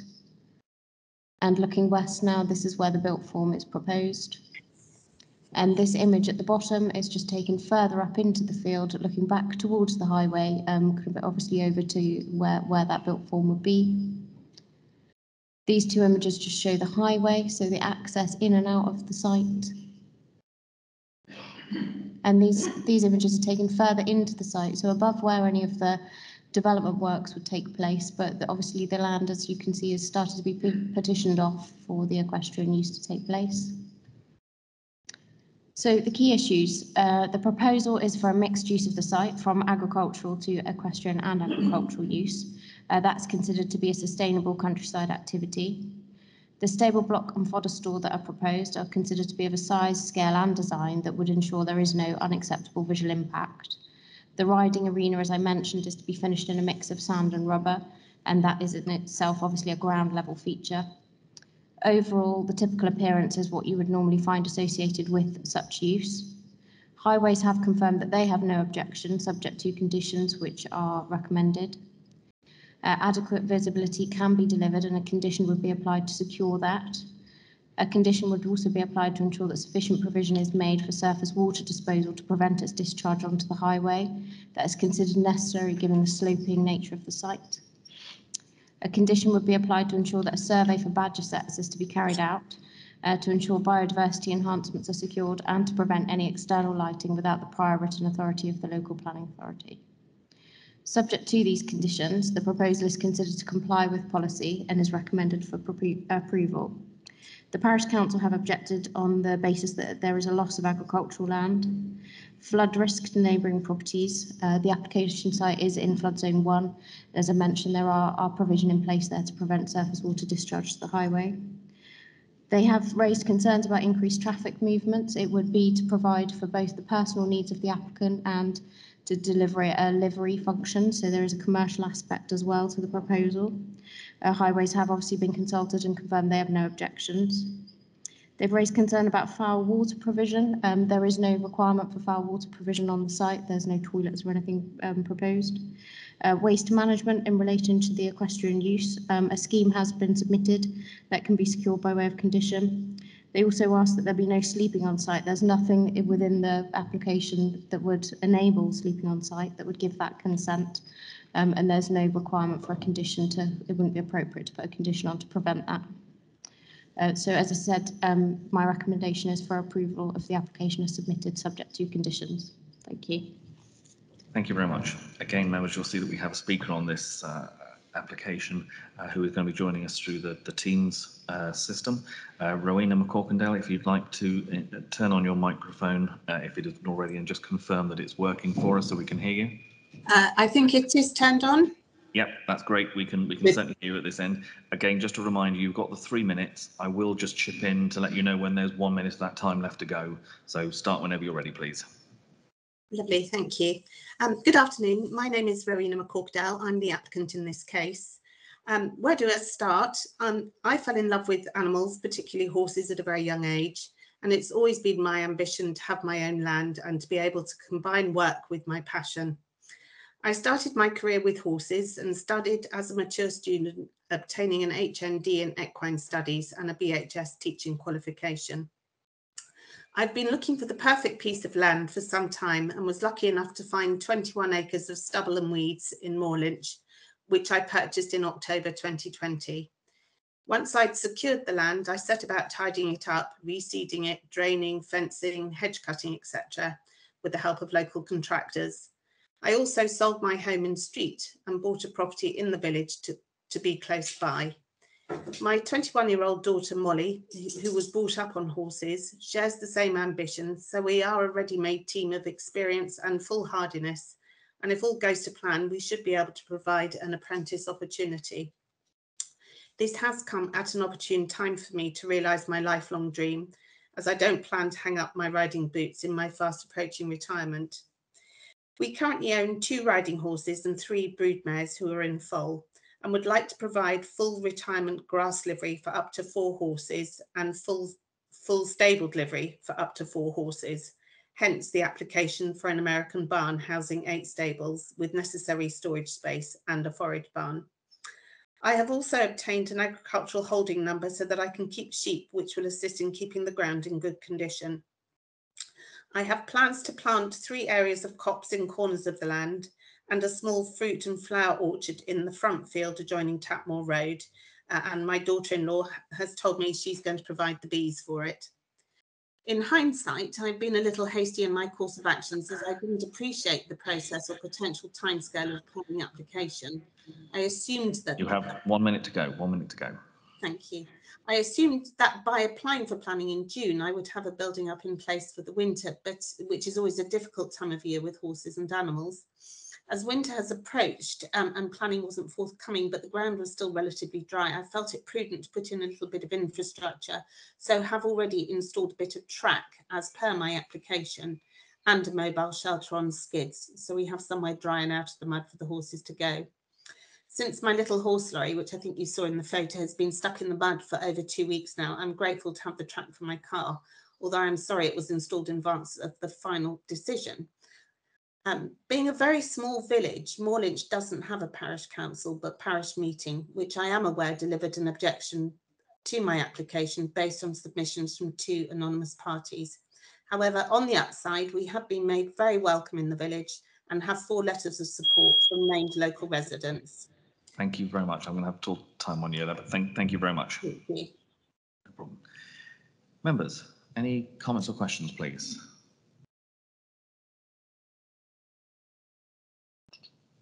Yes, councillor Kingham and then councillor Pearce. Yeah, Right, thank you, Chairman. Um, This particular site, I mean, so the, the photographs probably don't give it any justice, but it is quite a, a sloping site with quite a runoff from, of water down to the road. There are a number of properties which are suffering from the runoff because obviously work, some work has started on site. And of course, that means that you've got a lot of muddy water running down over the hill out into the road. I don't know on the conditions, it does say that um, no stormwater is to go onto the highways. But there are a number of properties which were still prone to being flooded by a runoff from the site. So I'm not sure whether the fact that they've actually started, whether it's a retrospective or a new application. But uh, we'll leave it at that at the moment. Thank you, Chairman. Uh, so the application was submitted um, in advance of any works being carried out. But um, as you can see from the site photos, the access track work has started on delivering the access into there. Um, certainly, um, as you could see from, it was quite sunny actually, so you might not be able to see particularly clearly, but they have started petitioning off some of the field um, and there are horses on the site. Um, this is the uh, the road as it is at the moment. Obviously, at the moment, this part does need to still be consolidated. There is a condition that would require that first five metres to be consolidated and a condition that would require um, uh, to, to prevent surface water draining onto the highway. Um, it is in flood zone one. Um, in terms of uh, changing to the land generally, obviously it will be a mixed use of agriculture and equestrian, relatively quite a small amount of, of built form, uh, limited to these two buildings here, and a permeable surface for the arena formed this, with the sand and rubber base. So in terms of increases, you're looking at the five metres here, um, and then these these two buildings here. So obviously, as works have started, the initial there are pre-commencement conditions. It would be suggested that we look at those as being carried out within three months of commencement of the decision date, as opposed to pre-commencement, as they have already started some works.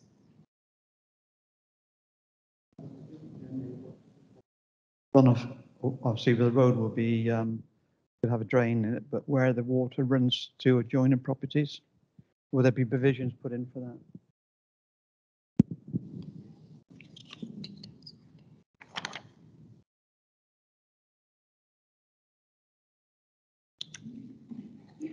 Bear with me one moment, sorry.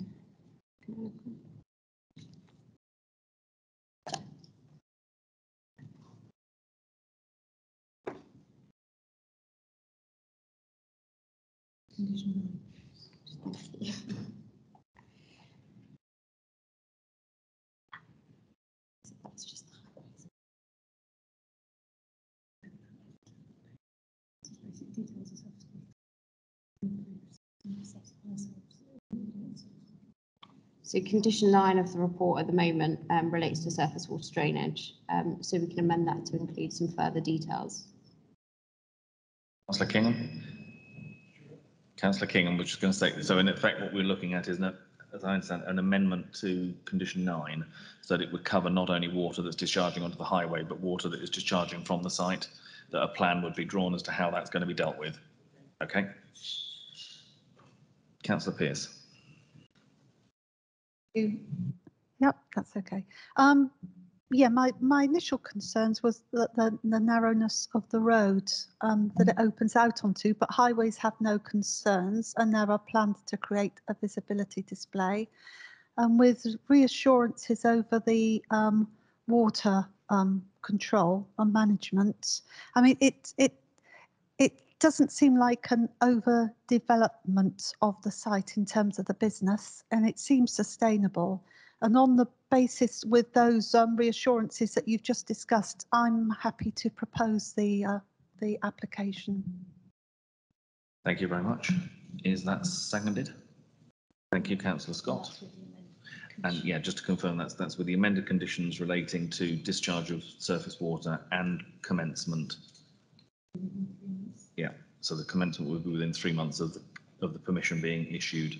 And I guess any detailed wording to be agreed with chairman and vice chairman as, as normal. So If there's no further comments, I'm not seeing any from members. We have the recommendation to grant permission subject to those amended conditions. All those in support, please show. It was seconded by councillor Scott. Sorry, thank you. And that would have, is that unanimous? No, Councillor Murphy? Councillor Murphy, is your hand up? I can't. Were you, I don't, we were just checking whether you were voting because we hadn't seen your hand.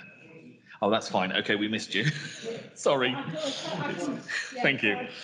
That, in which case, that is unanimous. That is clearly carried. So permission is granted, subject to those amended conditions.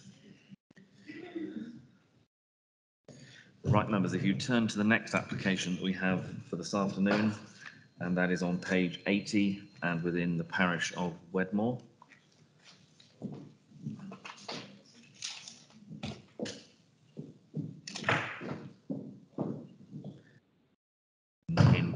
Panborough. And I think, Mr. Titchener, you're going to be presenting this one.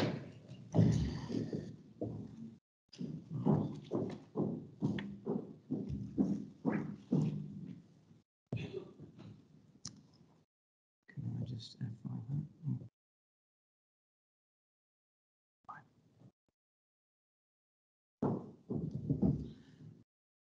Okay, thank you. Uh, Thank you, Chairman. Thank you, members. Um, So the application is for the change of use of a public house, uh, sui generis use to a residential dwelling. It's at the Panborough Inn, um, Wells Road in Panborough. Thank you, Emma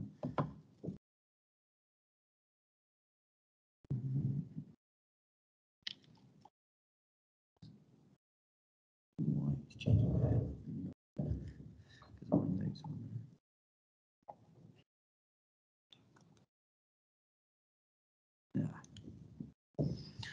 Uh, So um, just by way of background, and many members will be familiar with the background on this because it's not the first time it's been to committee. Um, So there was there was a previous application to go way back, which was submitted in 2019, and that was subsequently withdrawn in 2019 um, on the um, basis that at the time we could not, as officers, um, and with the advice we've received from the Value and Economic Development Team, support the proposal. They then submitted uh, another application, uh, which is the current application in July 2020. Uh, uh, that came to committee in November 2020 and was the change of use was approved by committee following our recommendations officers to approve it. Um, that decision was then subject to a successful judicial review in the courts. So the decision that was taken by the council was effectively quashed. Uh, so what happens in those circumstances, the application comes back to us. It's just the decision that gets quashed. The application stays with us, but it's back to us for redetermination. So hence, it's now um, been back through the process and is back with members with a recommendation again. Um, so what has happened since uh, the time of the uh, judicial review decision is the applicant, and I'll go into the reasons why, but the applicant has undertaken public consultation exercise in the summer of this year. Um, and there have been a couple other changes in circumstances. So um, the the building, the actual what was the, the effectively the Panborough Inn, has actually been sold. The applicant is no longer the owner. They were the owner at the time it was previously determined. A uh, couple purchased it um, after the decision uh, was uh, taken by uh, Sedgemoor, and they have commenced some works to change its use to a single family dwelling now. Um, and also, just by way of an update, uh, since the committee report was published, um, uh, we have been provided with a letter um, which uh, sent to the council. It was also sent to the parish council um, uh, sometime previously uh, from 11 uh, households that live in close proximity to the public house. So they live in. Uh, they are some of the properties closest to the um, to the to the pub. Um, and um, it's quite a long letter. I'll just try and cover off sort of what it says, just so members are aware. Um, so um, it acknowledges that at the time there was considerable local opposition to the proposal when it was originally put forward, uh, and including the opposition from many of those who signed this most recent letter that's just come in. Um, however, in their view, and they don't speak for all the objectors, however, uh, they now consider it's time to move on. Uh, they consider the investment to make the pub work is too much. They do not wish for a protracted planning dispute or appeals which leaves a semi-derelict pub on the edge of the village. They also note that new owners have purchased the premises who've expended money to transform the property into a single family home. The letter says the owners admit this was an error of judgment as the judicial review came to light only about three to four weeks before they were due to complete on the purchase, um, but went ahead anyway. The letter considers the consequences of different recommendation from the committee today uh, would have catastrophic, catastrophic implications for the new owners. Um, the, uh, it acknowledges the decision must, any decision taken today must be based on planning policy, but they would urge that proportionality and fairness is uh, taken into account. And they'd also invite the councillor to support any other measures that might be available locally to support events, um, such as the Green Man pop-up pub, um, which occurs uh, occasionally in Theale.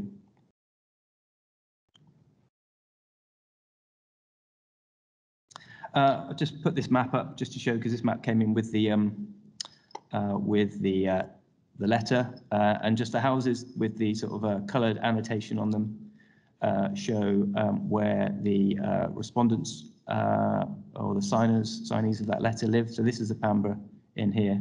So we are talking about a number of the properties that live certainly in closest proximity to it. Uh, many people will be familiar where the Panborough Inn is. It's on the road between uh, Wedmore and uh, Wells. Uh, it's got a sort of site uh, just on the sort of eastern edge as the road sort of swings past, and here's a public car park in the building here. Um, the red line the application site on the location plan just shows the plot, which includes the building, the car park, and its associated garden. Uh, floor plans um, uh, don't give a great amount of detail, but just show obviously it's quite it's a decent sized property with sort of skittle alley, etc., uh, and a reasonable amount of accommodation first floor level. Uh, I've got some photos. These are the ones that were taken at the original site visit when the application first came in, and I've got a more recent one as well to show at the end, just showing the pub. Uh, here with its um, the, the main building, um, part of the Skittle Alley in its in its car park. This is the other side, which is viewed from what is a public right of way, which leads down to a couple of properties and then um, countryside uh, beyond. And again, large car park. You can see it's quite a, a, a reasonable sized property. And again, some of the garden um, uh, associated with it, uh, etc. Uh, and again, a picture of the car park.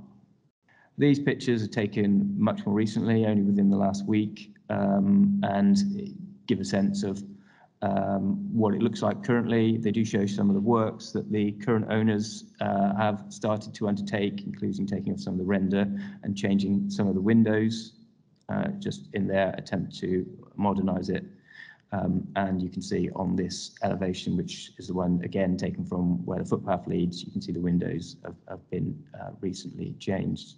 Uh, so just in terms of bit more on the judicial review. So that judgment was made on 17th June 2021. Um, uh, it considered there to be a flaw uh, regarding the application of policy D35, which is a policy that's applied in regard to local services, provision of new local services, and importantly in this case, the loss of existing local services. Um, it also considered there to be a failure regarding um, duties under the Equality Act.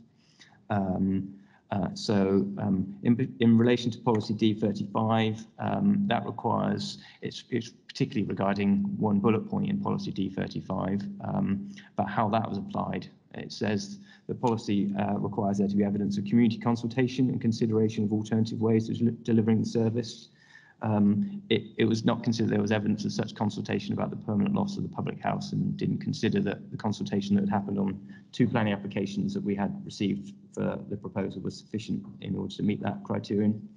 Uh, so um, the judge considered that had such a consultation been carried out, it may have given rise to innovative solutions about how the pub potentially could have been retained or in some other retained in some other form. And in regard to the Equality Act, there needs to be evidence the council had asked itself about implications for protected uh, characteristics. Um, so under the under the public sector equality duty, so those are protected characteristics that are defined in the Act. So they are, um, there's nine of them. So they're age, disability, gender assignment, marriage and civil partnership, pregnancy, maternity, race, religion or belief, sex and sexual orientation. So the report that's before members today and this presentation touches on um, much of it, um, seeks to address those issues uh, and any others considered in previous determination.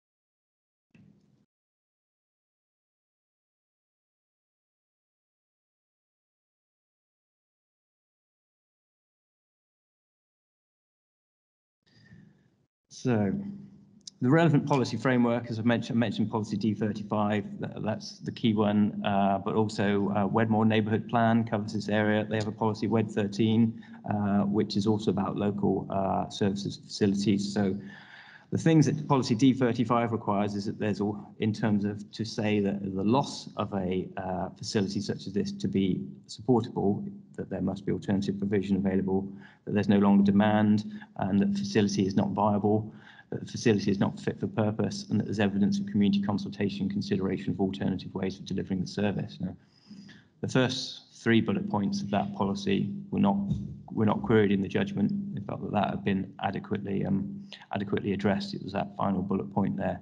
Um, and then regards to WED 13, uh, in, uh, in terms of that's requirements, that there should be no prospect of viable use and therefore a need demonstrated for a change. And effectively, that's very similar assessment to what was undertaken in the first three bullet points of D35. And there's no adverse impact on the natural and built environment. Um, um, and also on, that regard, the judgment uh, was not critical in terms of how those bullet points have been applied. So, um, as, a, as I said, yeah, the Wedmore Neighbourhood Plan policy, it protects those locally valued services. So the, the loss should only be allowed where there's no reasonable prospect of viable continued use.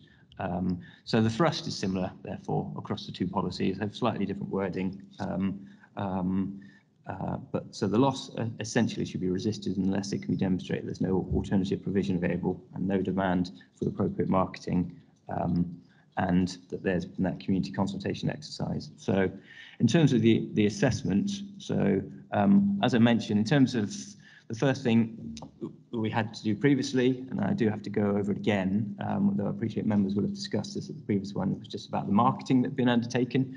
The first application was withdrawn um, because, and that's going back to 2019, because there hadn't been sufficient um, uh, sufficient marketing in our view. So they went then and under, undertook a marketing exercise. Um, so um, uh, and that was undertaken by two agents. So Sidney Phillips, they're more specialised licensed premises um, uh, um, uh, agency, uh, and also by Greenslade Taylor Hunt. So there are um, many people will be familiar with them. They're a much more local um, uh, organisation, a state agency. Um, uh, both put it on the market in 2019 with a guide price of 485,000. So it was marketed via expected means. So that was you know, various websites, um, various trade websites, um, uh, Rightmove, etc. There were boards placed outside. So, um, but it didn't generate particularly amount, uh, a great amount of interest. Uh, Sidney Phillips, there was only one viewing in person. They were interested, but withdrew as um, the bank would not support their proposal. Greenslade Taylor Hunt, their marketing generated six viewings, none led to further interest. Um, people considered it. Some of the reasons cited were that it was too big, uh, too much work required, uncertain viability, or that it was considered to be a difficult location. So um, the, the price uh, that it was marketed for at the time um, was uh, 485,000, which was considered, which was notably higher than the applicant at that time, uh, who was uh, the then owner, had paid. They paid 330,000 in 2016. Um, so um, some clarification was requested of the agents regarding the price um, and, and why it was pitched at that level. Uh, so Sidney Phillips recommended the price on the basis of the market evidence available at the time, said other pubs had been selling at similar prices. Um, they felt that prices in the earlier, in the in the couple of years leading up to that point, had been suppressed by a number of large chain disposals, uh, which was artificially keeping it lower. Greenslade Taylor Hunt said there were some more positive market signals um, at the time, um, and it was in line with other similar disposals, um, and they felt there was some flexibility for multi-use business. Considered it could have been a popular location. Um, uh, uh, and also uh, we asked them for their views on the likelihood that it might reopen as a public house. Um, Sidney Phillips uh, felt that the industry was entering another turbulent time. Uh, COVID uh, was um, uh, on has started at the point that these comments were made, and they felt that restrictions were going to be a threat to viability. Um, uh, and you know we are now over a year on, and they obviously continue to be so for, for many such premises. Greenslade were um, not particularly positive. They didn't really feel there was a likelihood it was going to be open. F- certainly felt not in the current condition, and uh, particularly with the whole trade struggling. Uh, we also sought some independent advice internally, um, so uh, from um, the council's economic development team and from our uh, from the valuer. Um, the uh, economic development team commented in detail on the scheme. They noted the applicant's statements about business viability, um, um, uh, and initially felt this was not backed up by marketing to evidence it. Um, uh, so hence why originally they were asked to go out and put it on, on the market so we could so we could, so that could be tested. They noted the proximity of the site to good country, to beautiful countryside, a number of wildlife reserves, and said potentially it could be quite well placed. Um, they noted the, the proximity of pubs such as the Sheppey, many people will be familiar with. It's not very far away. It's probably the closest pub to this one.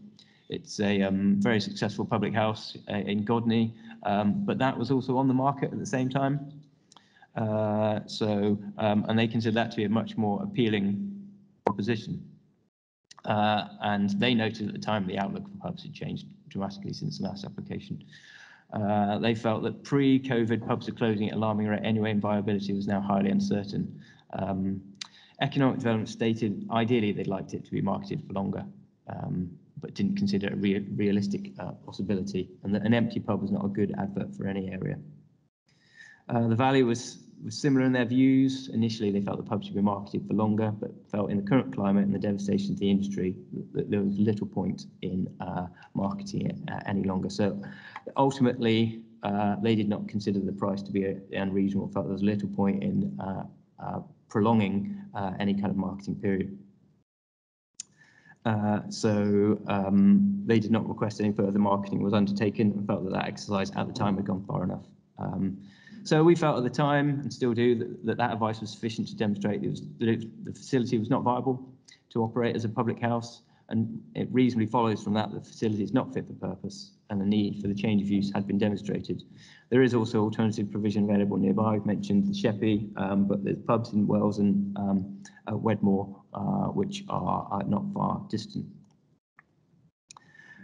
In terms of the, the requirement of D35 about community consultation, this is obviously the main consideration um, uh, that is new uh, from previous consideration. So the applicant, following the judicial route, was, was advised that that exercise needed to be undertaken. So they went and did a survey. Uh, they put together a survey which was made available online, uh, which sought to gain views about the change of use to single dwelling and the loss of the public house.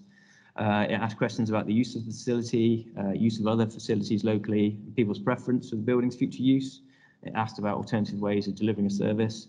Um, it was made available for six weeks in July and August uh, of uh, 2021 and received a total of 119 responses, uh, majority of which were very local. And when I say very local, I mean within Panborough Theale and the, and the, and the villages surrounding uh, and onto, onto Wedmore. So there's a bit of a split in terms of views. Um, about 55% 55% uh, that responded to that accepted the change of use and felt it should go ahead. 35% wanted a return to a, to a public house, felt it should reopen.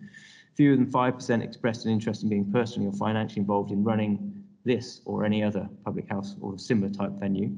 Um,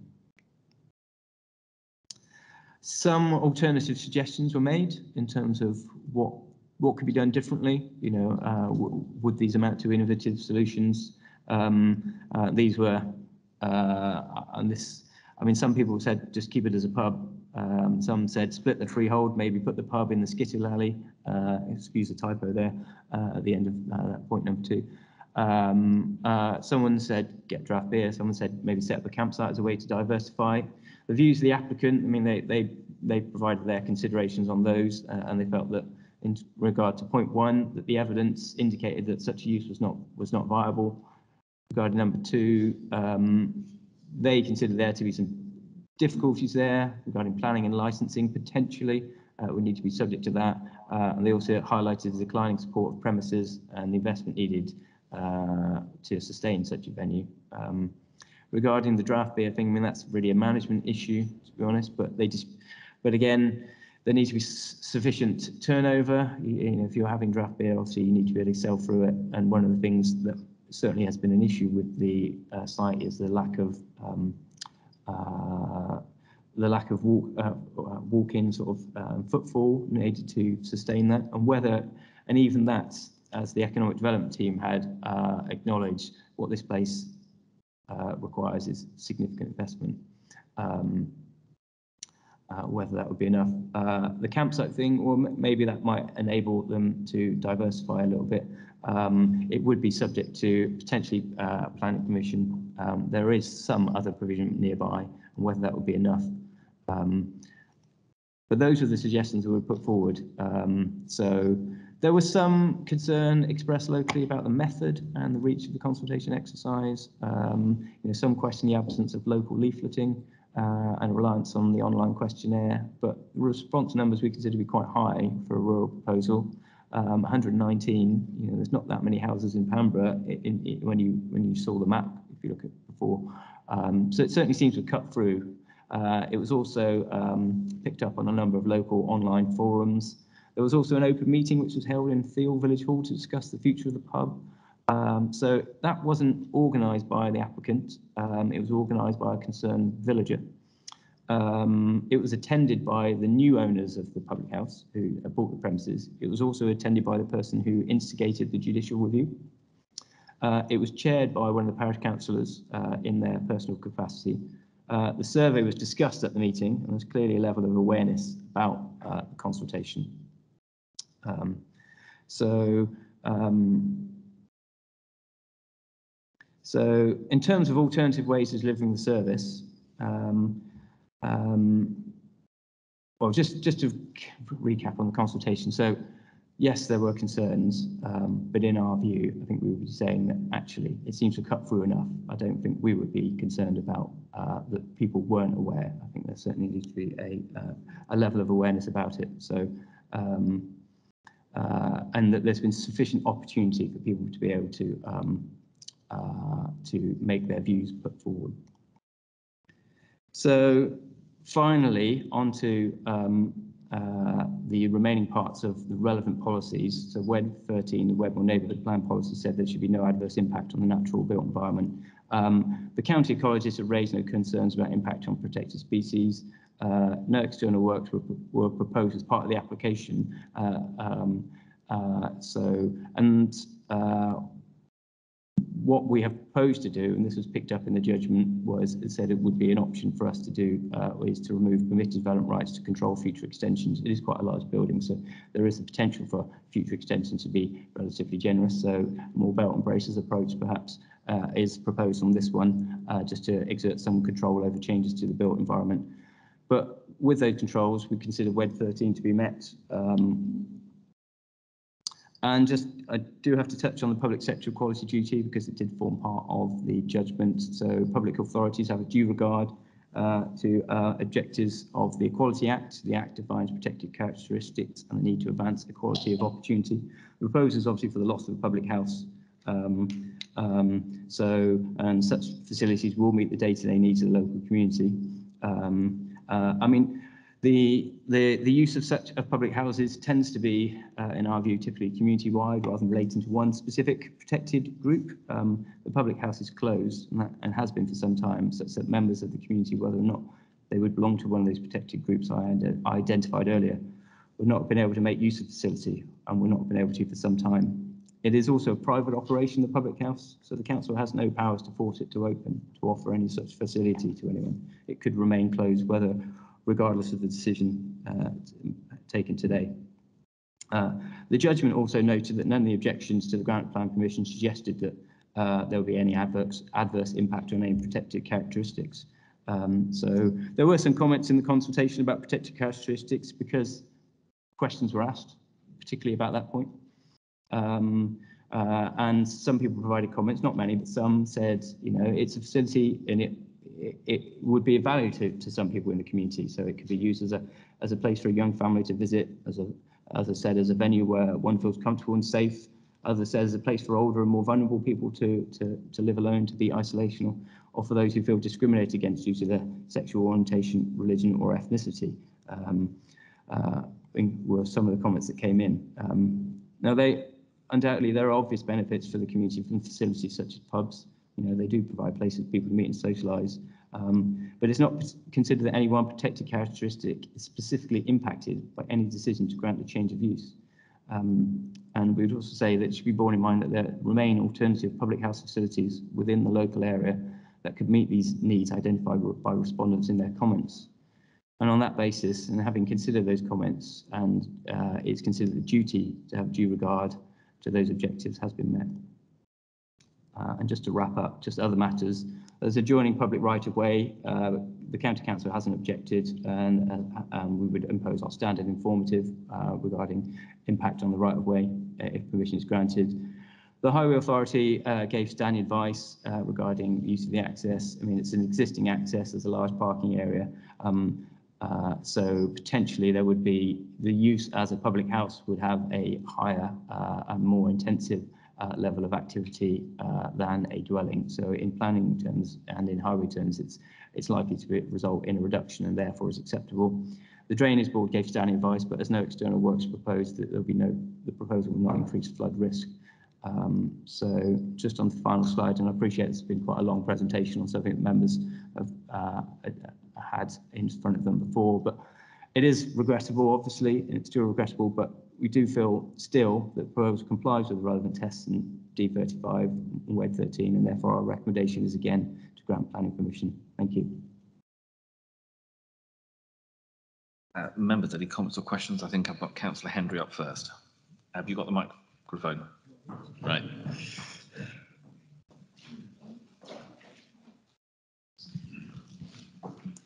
Okay. How long have you got, Brian?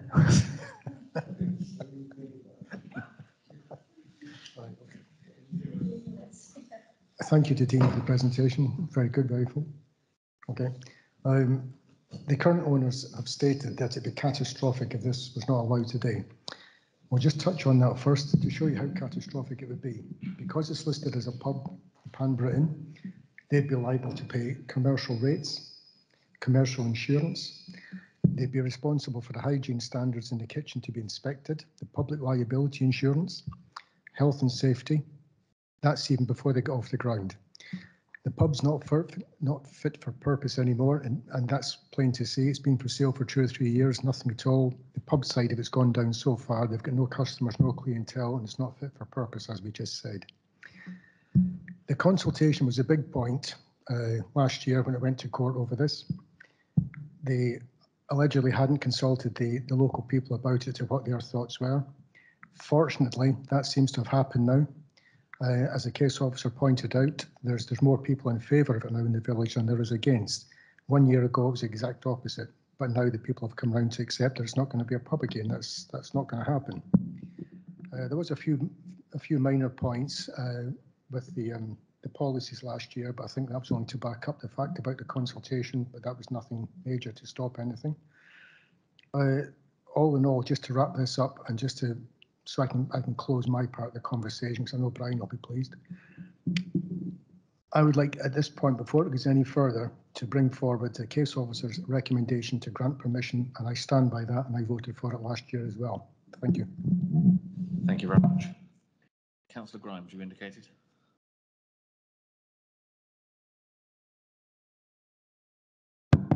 It's working. Thank you, Chairman.